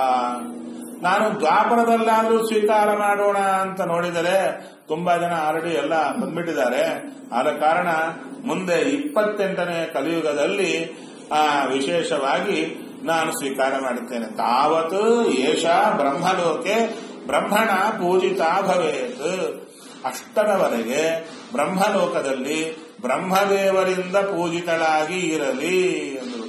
ಅಲ್ಲಿ ನಾವು ನೋಡಿದಾಗ ಬ್ರಹ್ಮದೇವರು ಪೂಜೆ ಮಾಡಬೇಕಾದ್ರೆ ಲಕ್ಷ್ಮೀ ದೇವಿ ಆಗಿರ್ಬೇಕಲ್ಲ ಆಗಿರ್ಬೇಕಾಗಿಲ್ಲ ಅಂದ್ರು. ಪೂಜಾ ಅಂದ್ರೆ ಅರ್ಥ ಏನು? ಮಾನ್ಯತೆ ಕೊಡೋದು. ದೇವರ ಪತ್ನಿ, ಮುಂದೆ ಭಗವಂತನ ಪತ್ನಿ ಆಗುವವಳು ಅಂತ ಮಾನ್ಯತೆ. ಇನ್ನು ಪೂಜಾ ಯಾರಿಗೆ? ಒಂದು ವೇಳೆ ಅಲ್ಲಿ ವಿಶೇಷವಾಗಿರ್ತಕ್ಕಂಥದ್ದು ಅಮ್ಮ, ಬಾ ಅಂತ ಕರೆದರೆ ಅಲ್ಲಿರುವ ಲಕ್ಷ್ಮೀ ದೇವಿಗೆ ಪೂಜಾ ಮಾಡಿದರು ಅಂತ ತಿಳ್ಕೋಬೇಕಷ್ಟೇ ಹೊರತು ಈ ಒಂದು ವಾಕ್ಯದಿಂದಾಗಿ ಬ್ರಹ್ಮದೇವರಿಂದ ಪೂಜಿತಳಾದರು ಎಂಬ ವಾಕ್ಯದಿಂದಾಗಿ ಬ್ರಹ್ಮದೇವರು ಪೂಜೆ ಮಾಡಬೇಕಾದ್ರೆ ಲಕ್ಷ್ಮೀ ದೇವಿ ಆಗಿರ್ಬೇಕಿನ್ನ ಮತ್ತೆ ಬೇರೆ ಯಾರಾಗ್ಲಿಕ್ಕಾಗುತ್ತೆ ಅಂತ ತರ್ಕವನ್ನ ಪ್ರಯೋಗ ಮಾಡಿ ನಾವು ಸಾಧನೆ ಮಾಡಲಿಕ್ಕೆ ಆಗಲ್ಲ ಎಂಬುದನ್ನು ಉತ್ತರ ಕೊಡ್ತಾ ಇದ್ದಾರೆ. ತದನಂತರ ಆ ಮಾತನ್ನ ಕೇಳಿ ಬಕುಲಾದೇವಿ, ಆನಂದ ನಿರ್ಭರ ಕೌತೂಹಲ ಸಮಾವಿಷ್ಟ ಶ್ರೀನಿವಾಸಂ ಅಭಾಷತ. ಹೌದಾ? ಸರಿನಯ್ಯ ಈಗಲೇ ಹೋಗ್ತೇನೆ. ಆಕಾಶರಾಜನ ಪಟ್ಟಣಕ್ಕೆ ಅಂತ ಹೇಳಿದಾಗ ಸ್ವಾಮಿ ಎದ್ದು ಕೂತ್ನಂತೆ. ಅವಾಗ ಉತ್ಥಾಯ ತಲ್ಪ ಸ್ಥಿಮಿತಾಂತರಂಗ ತಸ್ಥೌ ತದಾನೀಂ ಭೃಜಹೃಷ್ಟಚೇತಾ ಚೆನ್ನಾಗಿ ದಶಪುಟ ಆದಂದ್ರೆ ಚೆನ್ನಾಗಿ ನೋಡ್ತಾ ಇದ್ದಾನಂತೆ. ಭುಕ್ತ ಅನ್ನಮುತ್ತಮ ಮಸವು ಬಕುಲಾ ಪ್ರದತ್ತಂ. ಇಲ್ಲಿ ಕೊಡಮ್ಮ, ಮೊದಲೇ ತಂದಿಯಲ್ಲ ಪಾಪ ತುಂಬಾ ಹೊತ್ತಾಯ್ತು ಇಪ್ಪತ್ತು ನೋಡಿಲ್ಲ. ಅದನ್ನ ಹಿಡ್ಕೊಂಡ, ಸರಿ ಸರಿ, ಊಟ ಮಾಡಿದ. ನಂತರ ಪೂರ್ಣ ಸುಮನಾಹ, ಆನಂದ ಸುವರ್ಣ ಸುಮನಾಹ, ಸುರವೃಂದ ವಂದ್ಯ ಆಕೆಗೆ ಹೇಳಿ ಕಳಿಸ್ತಾ ಇದ್ದಾನೆ. ಅಲ್ಲಿ ನಡ್ಕೊಂಡು ಹೋಗ್ಬೇಕೇನಯ್ಯ ಇಟ್ಟು ದೂರ ಅಂತ ಹೇಳಿದ್ರೆ, ಇಲ್ಲ. ದಿವ್ಯಾಂ ತುರಂಗೀಂ ಆಸ್ಥಾಯ ನಿರ್ಮಿತಾಂ ದೇವಮಾಯಯ. ತುರಂಗ ಅಲ್ಲ, ತುರಂಗಿ ಕಳಿಸ್ತಾ ಇದ್ದಾರೆ. ಹೆಣ್ಣು ಕುದುರೆಯನ್ನು ಕಳಿಸ್ತಾ ಇದ್ದಾರೆ. ಅಲ್ಲೂ ಕೂಡ ಹಿಂದಿನ ಕಾಲದಲ್ಲಿ ಗಂಡಸರು ಗಂಡು ಕುದುರೆಯನ್ನ, ಹೆಂಗಸರು ಹೆಣ್ಣು ಕುದುರೆಯನ್ನ ಬಳಸುವುದು ಚಾಲ್ತಿಯಲ್ಲಿ ಇತ್ತು. ಅದರಿಂದ ಹೌದು ಹೌದು. ಹೆಣ್ಣು, ಹೆಂಗಸರು ಹೆಣ್ಣು ಕುದುರೆಯನ್ನ, ಗಂಡಸರು ಗಂಡು ಕುದುರೆಯನ್ನ ಬಳಸುವುದು ಚಾಲ್ತಿಯಲ್ಲಿ ಇತ್ತು. ಆಕೆ ಹೆಣ್ಣು ಕುದುರೆಯನ್ನ ಹಿಡಿದು, ಅದು ಎಲ್ಲಿ ಬರುತ್ತೆ ಅಂದರೆ ಇಲಾ ವೈವಸ್ವತ ಮನುಗಳ ಮಗನಾಗಿ ಮಗಳಾಗಿರ್ತಕ್ಕಂಥ ಇಲ ಸುದ್ಯುಮ್ನಾದ ಮೇಲೆ ಮೇರು ಪರ್ವತದ ಪ್ರಾಂತದಲ್ಲಿ ಸುಕುಮಾರ ವನಕ್ಕೆ ಹೋದಾಗ ಆತ ಮಾತ್ರ ಹೆಣ್ಣಾಗಿದ್ದಲ್ಲ.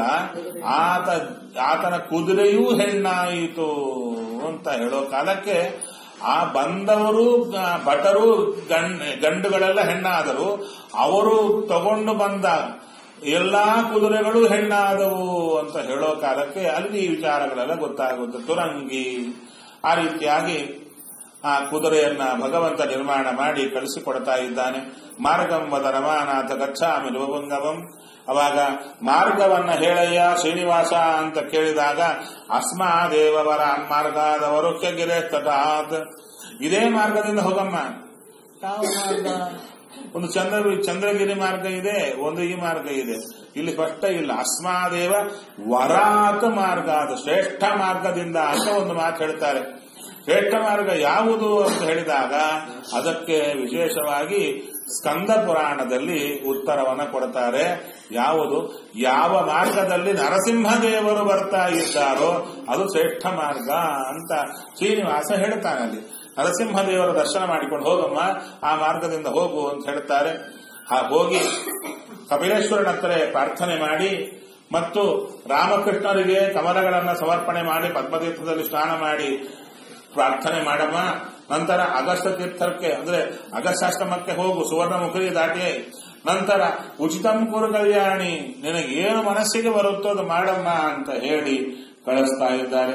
ಆ ರೀತಿಯಲ್ಲಿ ಆಕೆ ಸುವರ್ಣಮುಖರಿ ನದಿ ದಾಟಿ ಅಗಸ್ಟಾಶ್ರಮಕ್ಕೆ ಬಂದಾಗ ಅಲ್ಲಿ ಎಲ್ಲಾ ಕನ್ಯಕೆಯರಿದ್ರು ಯಾರು ನೀವು ಅಂತ ಹೇಳಿದಾಗ ವಯಂ ಆಕಾಶ ರಾಜಸ್ಸ ಸನ್ನಿಧಾನ ಗತಾಸ್ತದ.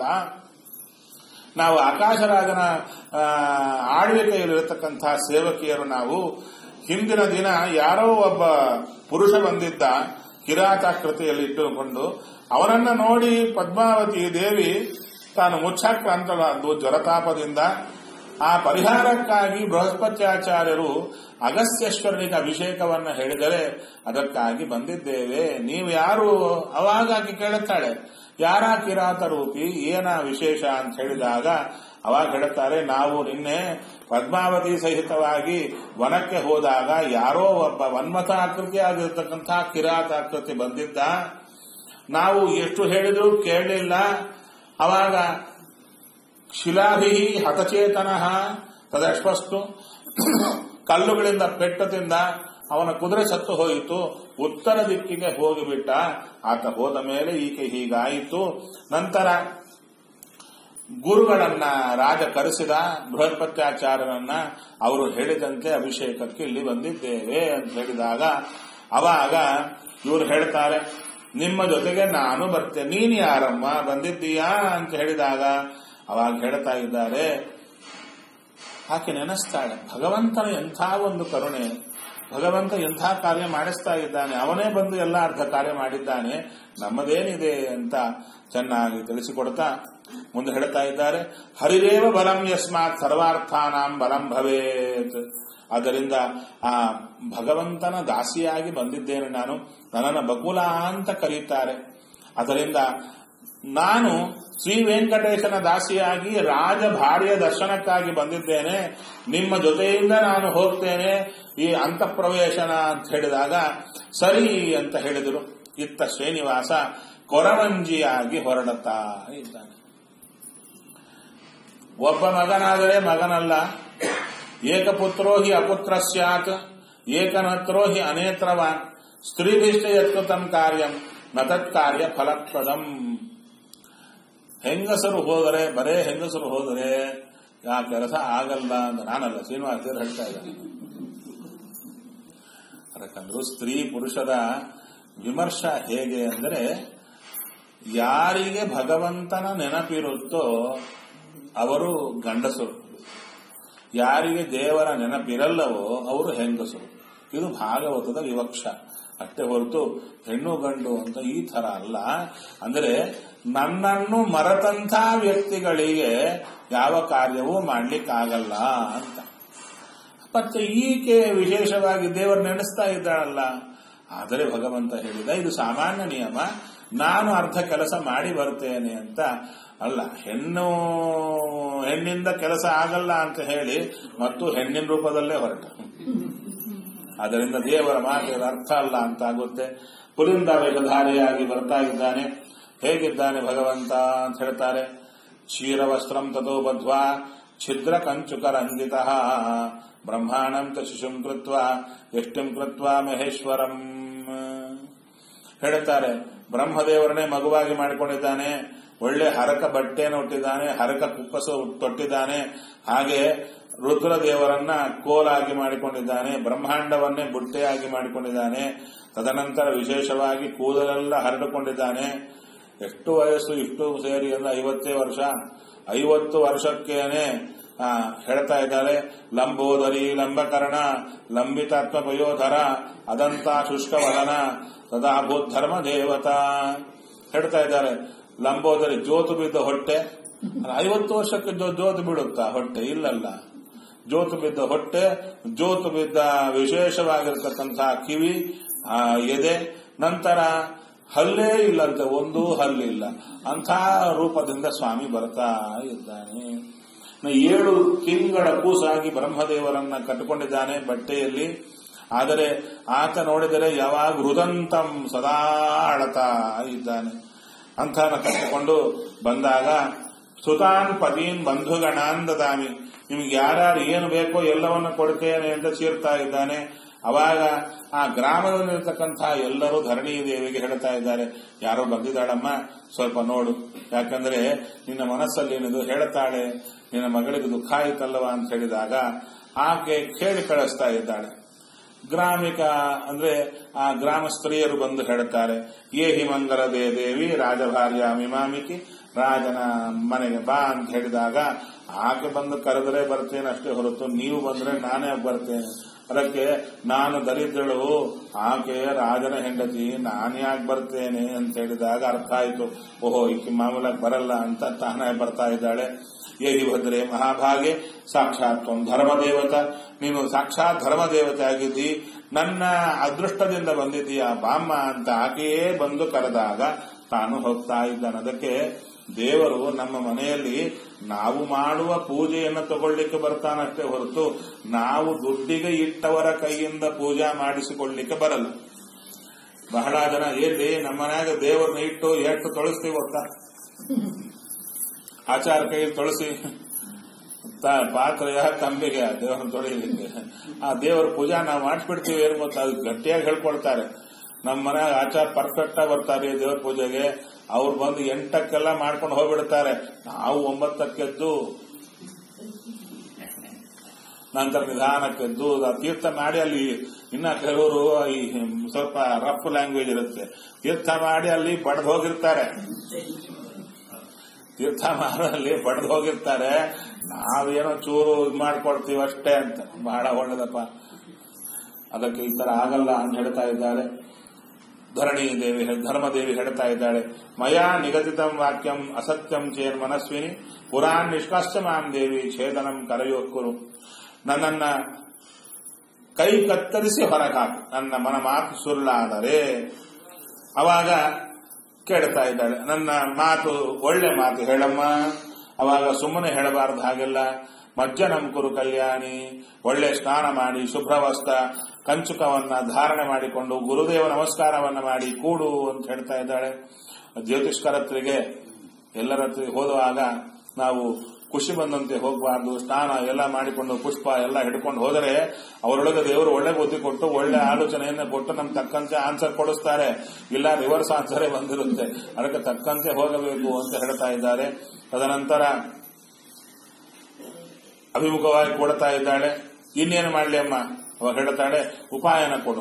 ಅಂದಾಗ ಒಳ್ಳೆ ಬಂಗಾರದ ಮರದಲ್ಲಿ ವಾಯನ ದಾನ ಮಾಡ್ತಾ ಇದ್ದಾಳೆ. ತದನಂತರ, ಮತ್ತ ಇನ್ನೇನು ಬೇಕಮ್ಮ ಹೇಳು ಅಂದ್ರೆ, ಇಲ್ಲ, ನನ್ನ ಮಗನಿಗೆ ಸ್ವಲ್ಪ ಕಿಶೋರಣ್ಣ ಪ್ರಯಚ್ಛಮೆ ಅನ್ನ ಕೊಡು. ಅಹಕೃತಂ ರಾಜಕೃತಂ ಸ್ವಭತ್ವಂ ರಸಗಮ್ಯತಂ ಒಂದು ಹಗಲು ಮಾಡಿದ್ದೋ, ರಾತ್ರಿ ಮಾಡಿದ್ದೋ, ಯಾವುದೋ ಒಂದು ಕೊಡಮ್ಮ. ನಾವೊಂದು ವ್ಯತ್ಯಾಸ ಏನು ಅಂತ ನಾವು. ಯಾಕೆ? ನಾವು ಬೆಳಿಗ್ಗೆ ಮಾಡಿದ್ರೆ ರಾತ್ರಿ ಇಟ್ಕೊಂಡು ತಿನ್ನೋ ರಾತ್ರಿಯಿಂದ ಅಂಥ ವ್ಯತ್ಯಾಸ ಏನು ಅಂತ. ಅದಕ್ಕಂದ್ರು ಬೆಳಿಗ್ಗೆ ಮಾಡಿದ್ದು ರಾತ್ರಿ ತಿನ್ನಬಾರದು ಮಡಿಗೆ ಬರಲ್ಲ. ಅದಕ್ಕೆ ಶ್ರೀನಿವಾಸ ಅಂದ, ನಾನಷ್ಟೇನು ಮಡಿ ಹಿಡಿಸ್ಕೊಳ್ಳಲ್ಲ ಬೆಳಿಗ್ಗೆ ಆಗ್ಲಿ ರಾತ್ರಿ ಆಗ್ಲಿ ಏನಾದ್ರೂ ಮಾಡಿದ್ರು, ಹಾಕಮ್ಮ ಅಂತ ಹೇಳ್ತಾ ಇದ್ದಾನೆ. ಅಂದ್ರೆ ಆ ಕೊರವಂಜಿಯವರು ಹೇಗೆ ಮಾತಾಡ್ತಾರೋ ಹಾಗೆ ಮಾತಾಡ್ತಾ ಇದ್ದಾನೆ. ಇದಕ್ಕೆಲ್ಲ ಬೇರೆ ಅರ್ಥಗಳೇ ಕೂತಿವೆ. ನನ್ನ ಶಿಶುವಿಗೆ ಅನ್ನವನ್ನ ಕೊಡು, ಹಗಲು ಮಾಡಿದ್ದು, ರಾತ್ರಿ ಮಾಡಿದ್ದು ಅಂದ್ರೆ ಪ್ರಾತಃಸವನ ರಾತ್ರಿ ಇವೆಲ್ಲ ತುಂಬಾ ಅರ್ಥಗಳಿವೆ. ಅದಕ್ಕೆ ಇನ್ನೊಮ್ಮೆ ಕೂಡೋಣ. ವಿಶೇಷವಾಗಿ ಶ್ರೀನಿವಾಸ ಕಲ್ಯಾಣದಲ್ಲಿ ಇರತಕ್ಕಂಥ ಅಂತರ್ಗತ ಅರ್ಥ ವಿಶೇಷ ಅರ್ಥಗಳು ಇಲ್ಲದಿದ್ರೆ ಶ್ರೀನಿವಾಸ ಹೇಳ್ತಾನೆ, ನಾನು ವೈಕುಂಠದಿಂದ ಬರುವಾಗ ಹತ್ತು ಸಾವಿರ ಹೊನ್ನು ತಂದಿದ್ದೆ. ಎಲ್ಲ ಖರ್ಚಾಗೋಯ್ತು. ಇವಾಗ ಎಲ್ಲರಿಗೂ ಎಲ್ಲಿ ಊಟ ಹಾಕ್ಲಿ ಅಂದ್ರು. ಅಲ್ಲ, ಖರ್ಚು ಮಾಡ್ಲಿಕ್ಕೆ ಯಾರಿದ್ರಪ್ಪ ಅಲ್ಲಿ ಯಾವ ಅಂಗಡಿಯಲ್ಲಿ ಕೊಟ್ಟ್ಯಾ ನೀನು? ಎಲ್ಲಿ ಖರ್ಚು ಮಾಡುತ್ತೆ ನೀನು? ಅಂದ್ರೆ ಅದಕ್ಕೆಲ್ಲ ಬೇರೆ ಬೇರೆ ಅರ್ಥಗಳು ಬೇಕು. ಬ್ರಹ್ಮದೇವರ ಹತ್ರ ಅವರ ಸೈನ್ಯಾಧಿಪತಿಗಳು ಬಂದೆಲ್ಲ ಕೇಳ್ತಾರೆ, ನಮಗೆ ವಾರ್ಷಿಕಂದೋ ದೇಹಿನೋ ಬ್ರಹ್ಮನ್. ನಮಗೆ ಬೋನಸ್ ಕೊಡ್ರಿ ಅಂತ ಕೇಳ್ತಾರೆ ಅವರಿಗೆ. ಅವರಿಗೆಲ್ಲ ಕೊಡ್ತಾರೆ. ಅಲ್ರಿ, ಇಲ್ಲಿದ್ದಂಗೆ ಅಲ್ಲೂ ಬೋನಸ್ ಆದ್ರೆ ಮತ್ತೆ ಗತಿ ಏನು? ಅದು ಬೇರೆನೇ ಅರ್ಥಗಳಿವೆ. ಇದಕ್ಕೆ ನಾನಲ್ಲ, ಮಹಾಜ್ಞಾನಿಗಳು ಆಧ್ಯಾತ್ಮ ಶ್ರೀನಿವಾಸ ಕಲ್ಯಾಣ ಅಂತ ಅರ್ಥಗಳು ತುಂಬಾ ಬರೆದಿದ್ದಾರೆ. ಅಂತ ಅರ್ಥಗಳು ಬರೆದವರಲ್ಲಿ ನಮ್ಮ ಗುರುಗೋವಿಂದ ವಿಠಲದಾಸರೊಬ್ಬರು ಅವರು ವಿಶೇಷವಾದ ಅರ್ಥಗಳನ್ನು ಬರೆದಿದ್ದಾರೆ. ಅದಲ್ಲದೆ ಇನ್ನೊಬ್ಬರು ಮಹಾನುಭಾವರ ಆಚಾರ ಬರೆದಿದ್ದಾರೆ. ಆ ಪುಸ್ತಕವೇ ದೊಡ್ಡದು. ತುಂಬಾ ದೊಡ್ಡ ಸಂಸ್ಕೃತದಲ್ಲೇ ಬರೆದಿದ್ದಾರೆ. ವಿಶೇಷವಾಗಿರ್ತಕ್ಕಂತಹ ವ್ಯಾಖ್ಯಾನ ಬರೆದಿದ್ದಾರೆ. ನಂತರ ಕ್ಷೀರಾನವನ್ನು ಕೊಡ್ಲಿಕ್ಕೆ ಹೋದ್ರೆ ಆ ಮಾನುಷ್ಯ ನಮ್ಮ ಭುಕ್ತವ. ನಯ್ಯೋ ಈ ಮನುಷ್ಯರನ್ನ ತಿಂದ್ರೆ ನಾನು ಒದ್ದಾಡಿ ಬಿಡುತ್ತೇನೆ ಬೇಡಪ್ಪ, ನಿಮ್ಮ ಅನ್ನ ನಿಮಗಿರ್ಲಿ ಅಂತ ಅಳ್ತಾ ಇದ್ರಂತೆ. ಅದಕ್ಕೆ ಹೇಳಿದ್ರು ಮನುಷ್ಯ ಅನ್ನ ಅಂತ ಹೇಳಿದ್ರೆ ವಿಜಯದಾಸರ ಮಾತು ನೆನಪಾಗುತ್ತೆ. ವಿಜಯದಾಸರ ಅಂತಾರೆ, ಇಷ್ಟು ಕಾಲ ನಲವತ್ತು ವರ್ಷದ ಮೇಲೆ ನಾನು ಹೀಗೆ ಬಿದ್ದಿದ್ದೆ ಈ ಸಂಸಾರದಲ್ಲಿ. ಏನು ಕಾರಣ ಅಂತ ನೋಡುತ್ತಾರೆ ಮಾನುಷ ಅನ್ನವನುಂಡದ್ದೇ ಕಾರಣವೋ, ನಿನ್ನ ಮರೀಲಿಕ್ಕೆ ಅಂತಾರೆ. ಅಂದ್ರೆ ಮನುಷ್ಯರಾದವರು ಮನುಷ್ಯ ಅನ್ನಲ್ಲದೆ ಇನ್ನೇನು ಊಟ ಮಾಡಿದ್ರು. ಇವರು ಮಾನುಷ ಅನ್ನವನ್ನು ಉಂಡೆ ಅಂತ ಹೇಳಿದ್ರೆ ಇವರು ಮನುಷ್ಯರಲ್ಲ ಅಂತ ಅರ್ಥ ಆಯಿತು. ಮಾನುಷ ಅನ್ನವನ್ನು ಉಂಡದ್ದಕ್ಕೆ ದೇವರನ್ನ ಮರೆಯುವ ಪರಿಸ್ಥಿತಿ ಬರುತ್ತದೆ. ಅದಕ್ಕೆ ಮಾನುಷಾನ್ನ ಬೇಡ ಅಂತಂತಾರೆ ಈ ಒಂದು ಏಟ್ ಹಾಕಿ ಬೈತಾ ಇದ್ದಾನಂತೆ. ದರಿದ್ರೋಸಿ ದುರಾಚಾರ ಕಂದ ಮೂಲ ಫಲಾಶನ ಕಥಮ್ನು ಬ್ರಕ್ ಭೂತಸೇ ಬೃಟ್ಟಂ ಕ್ಷೀರಾಣ್ಣಂ ರಾಜ ನಿರ್ಮಿತಂ ರಾಜರು ಮಾಡಿದ ಕ್ಷೀರಾನ್ನ ನಿನ್ಗೆ ಹೇಗೆ ಸೇರುತ್ತೋ?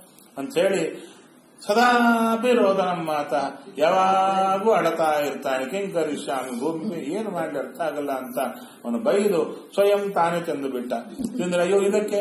ಇಲ್ಲ, ನಾನು ಹೊಟ್ಟೆಯಲ್ಲಿ ಹೋದ್ರೆ ಅದಕ್ಕೂ ಒಳ್ಳೇದಾಗುತ್ತೆ ಅಂತ ಹೇಳಿ ತದನಂತರ ಕ್ಷೀರಾನ್ನ ಆದ ಮೇಲೆ ಸ್ವಸ್ಥ ಚಿತ್ತ ಕೂತ್ಕೊಂಡು ನಂತರ ಸತ್ಯಂ ವದಾಮಿ ಶುಶ್ರೋಣಿ ತಾಂಬೂಲಂ ಹಂಗೆ ಒಳ್ಳೆ ಊಟ ಆಯಿತು. ತಾಂಬೂಲ ಇಲ್ಲ ಅಂದ್ರೆ ಹೇಗೆ?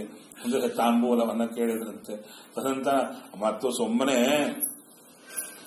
ಒಂದು ಎಡಿಕೆ, ತಾಂಬೂಲ ಅಂತ ಕೊಡ್ತಿರ್ತೀವಿ. ಒಂದು ನಾಲ್ಕು ಎಲಿ, ಒಂದು ಅಡಿಕೆ, ಆದ್ಮೇಲೆ ಅದು ಸುತ್ತೆ, ಅದಕ್ಕೆ ಸುಣ್ಣ ಹಚ್ಚಿ ಕೊಟ್ಬಿಡ್ತೇವೆ. ಒದ್ದಾಡೋಂಗಿರುತ್ತೆ ಅದು ಹೇಳ್ತಾರೆ ಏಲ, ಲವಂಗ, ಕರ್ಪೂರ, ನಾಗವಲ್ಲಿ ದಳಯುತಂ ಒಳ್ಳೆ ಕರ್ಪೂರ, ಜಾಜಿ, ಜಾಕಾಯಿ, ಎಲ್ಲ ಹಾಕ್ಬೇಕು. ಸುಮ್ಮನೆ ಏನಪ್ಪಾ ಅಂತೇಳಿ ಹಾಕಿ ಕೊಡಬಾರ್ದು. ಹಾಕೊಂಡ್ರೆ ಮತ್ತೋರು ಇನ್ನೊಂದು ಬೇಕು ಅಂತ ಕೇಳಬೇಕು. ಆ ತರ ಇರಬೇಕಂತ ತಾಂಬೂಲ.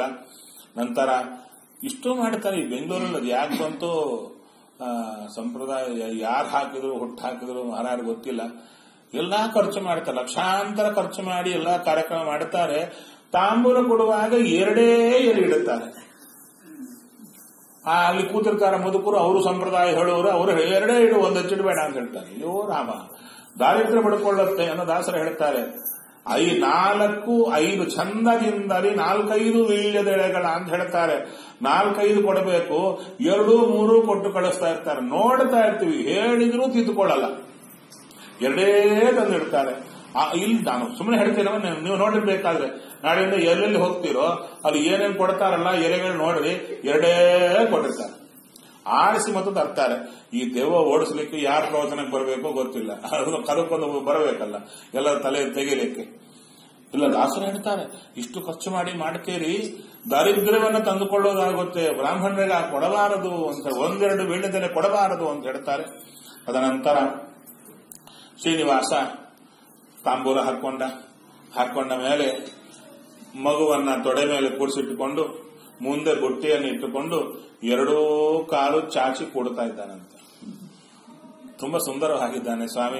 ಅವನು ನೋಡ್ಲಿಕ್ಕೆ ಎಲ್ಲಾ ಬ್ರಹ್ಮಾದಿ ದೇವರುಗಳು ಬಂದ್ಬಿಟ್ರಂತೆ. ಯಪ್ಪ, ಎಷ್ಟನಾಗಿದ್ದಾನೆ ಮಹಾರಾಯ. ಇವನು ಇಂಥ ರೂಪ ಎಂದು ನೋಡ್ಲಿಲ್ಲ ಅಂತ ಹೇಳ್ತಾ ಇದ್ದಾರೆ ದಷ್ಟು ಕಾಮಾಶ್ಚ ರಾಜೇಂದ್ರ ವೈಖೈರೀಂ ಪ್ರಕೃತೋದಿತಾಂ ಸುರೋತ್ತಮ ಸದಾರಾಶ್ಚ, ಸಪುತ್ರಾಶ್ಚ, ಸವಿಮಾನಗಣಸ್ತಥ. ಮಕ್ಕಳು, ಮೊಮ್ಮಕ್ಕಳು ಎಲ್ಲರನ್ನು ಕರ್ಕೊಂಡ್ ಬಂದಿದೆ ನೋಡ್ರಿ ದೇವರು ಎಂತ ಇದ್ದಾರೆ ಹೇಗೆ ಕಾಣಿಸ್ತಾ ಇದ್ದಾರೆ ಪಬ್ಲಿಕ್ ಆಗಿ ಕಾಣಿಸ್ತಾ ಇದ್ದಾನೆ. ಧ್ಯಾನ ಮಾಡಿದ್ರೆ ಹೊರತು ಕಾಣಿಸದೇ ಇರುವ ಸ್ವಾಮಿ ಇವತ್ತು ಕಾಣಿಸಿ ಬಿಡ್ತಾ ಇದ್ದಾನೆ. ಗೋಲ್ಡನ್ ಚಾನ್ಸ್ ಶ್ರೀನಿವಾಸ ಕಲ್ಯಾಣ ಅಂದ್ರೆ ಏನೋ ಬೇಕಾಬಿಟ್ಟಿ ಒಂದು ಕಾವ್ಯ. ಅದರಲ್ಲಿ ಏನೋ ಎಲ್ಲರೂ ಬಂದು ತಿಂದ್ರು, ಉಂಡ್ರು, ಗಡಿಬಿಡಿ ಮಾಡಿದ್ರು, ಹೋದ್ರು, ಮದುವೆ ತರ ಅಂತಲ್ಲ.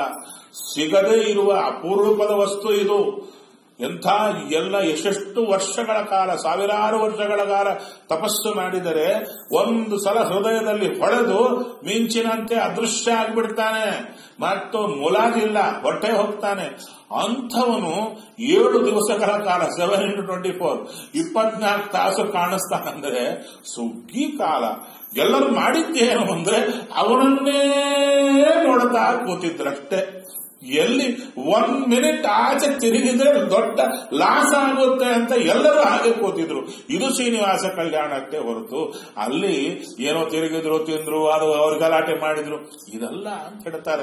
ಅಂತ ಅದ್ಭುತವಾದ್ದು. ಶ್ರೀನಿವಾಸನು ಅಂತ ವಿಚಿತ್ರವನೇ ಎಲ್ಲರೂ ಊಟ ಕೂತ್ರು. ಊಟ ಕೂತಾಗ ಊಟ ಮಾಡಲೇಬೇಕು. ಅವನು ನೋಡ್ತಾ ಕೂತ್ರೆ ಊಟ ಮಾಡ್ಲಿಕ್ಕಾಗುತ್ತಾ? ಹಾಗಲ್ಲ. ಅದಕ್ಕೆ ನೂರಾರು ರೂಪಗಳು ತಗೊಂಡು ಸ್ವಾಮಿ ಎಲ್ಲರ ಎಲೆಗಳ ಮೇಲೆ ಏಕಕಾಲದಲ್ಲಿ ಬಂದ. ಎಲ್ಲರ ಸರಿ ಮಾತಾಡಿಸಿದ. ಎಲ್ಲರಿಗೂ ತಾನೇ ನಿಂತು ಬಳಸಿ ಅಯ್ಯೋ ಕೆನ್ನಿ ಕೆನ್ನಿ ಅಂತ. ಆ ರೀತಿಯಲ್ಲಿ ಎಲ್ಲರಿಗೂ ಕೂಡ ಸಂತೋಷ ಕೊಟ್ಟಿರತಕ್ಕಂತಹ ಭಗವಂತನ ರೂಪ ಅದು. ಆ ರೂಪದ ವೈಭವ ಶ್ರೀನಿವಾಸ ಕಲ್ಯಾಣ ಅಂದ್ರು. ಇದೆಲ್ಲ ಇಲ್ಲದಿದ್ದರೆ ರುಚಿ ಇಲ್ಲದ ಸಪ್ಪಿ ಮದುವೆ ಆಗುತ್ತೆ. ನಮ್ಮ ಮದುವೆ ತರ ಆಗುತ್ತೆ. ಹೌದಾ? ನಮ್ಮ ಮದುವೆಗಳು ಆಗಿವೆಯಪ್ಪ. ಎಷ್ಟು ಜನ ದಿನಾಗ ನೆನೆಸ್ತಾ ಇದ್ದೀರಿ? ಹೌದಾ?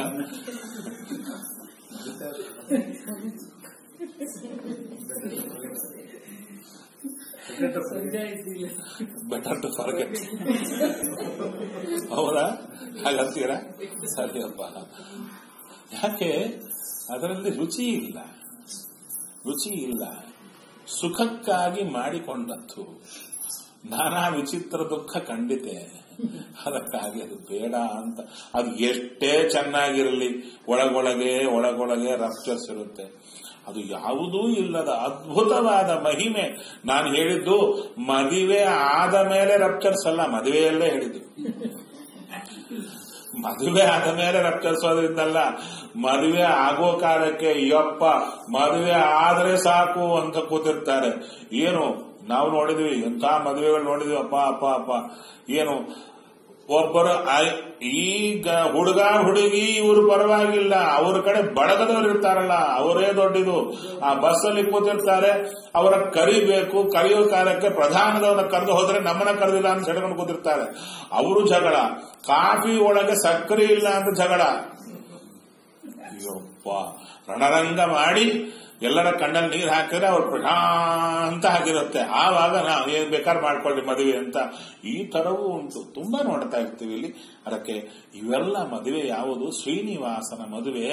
ಅವನ ಕಡೆಯೇ ಗಮನ. ಎಲ್ಲರ ಗುರಿ ಅವನೇ ಆಗಿದ್ದಾನೆ ಅಂತ ಒಂದು ಕಲ್ಯಾಣವನ್ನ ಮಾಡ್ಲಿಕ್ಕೆ ಹೊರಡ್ತಾ ಇದ್ದಾರೆ. ಸ್ವಾಮಿ, ಎಲ್ಲರೂ ಬಂದು ಹೊರಟು ಹೋಗ್ತಾ ಇದ್ದಾರೆ. ನೋಡಿ, ಒಂದು ಒಂದು ಪ್ಲೇನ್ ಅಲ್ಲಿ ಈತ ಮಾಡ್ತಾ ಇದ್ದಾನೆ. ಇನ್ನೊಂದು ಪ್ಲೇನ್ ಅಲ್ಲಿ ಎಲ್ಲರೂ ಬಂದು ನೋಡಿಕೊಂಡು ಹೋಗೋದು ಆಗ್ತಾ ಇದೆ. ನಂತರ ಲಕ್ಷ್ಮೀ ಸಹೋಯೋ ಅದಕ್ಕೆ ಹೇಳ್ತಾರೆ, ಎಷ್ಟು ಜನ ಇವಾಗ ಮೇಲ್ ನಿಂತು ನೋಡ್ತಾ ಇದ್ದಾರೋ? ಈ ಬೆಂಗಳೂರು ನಗರದಲ್ಲಿ ಏನೇನು ಪುರಾಣ ಆಗ್ತಾ ಇದೆ? ಎಲ್ಲೆಲ್ಲೇ ಆಗ್ತಾ ಇದೆ? ಏನೇನು ಆಗ್ತಾ ಇದೆ ಅಂತ ಮೇಲ್ ನಿಂತು ಎಷ್ಟು ಜನ ನೋಡ್ತಾ ಇದ್ದಾರೋ?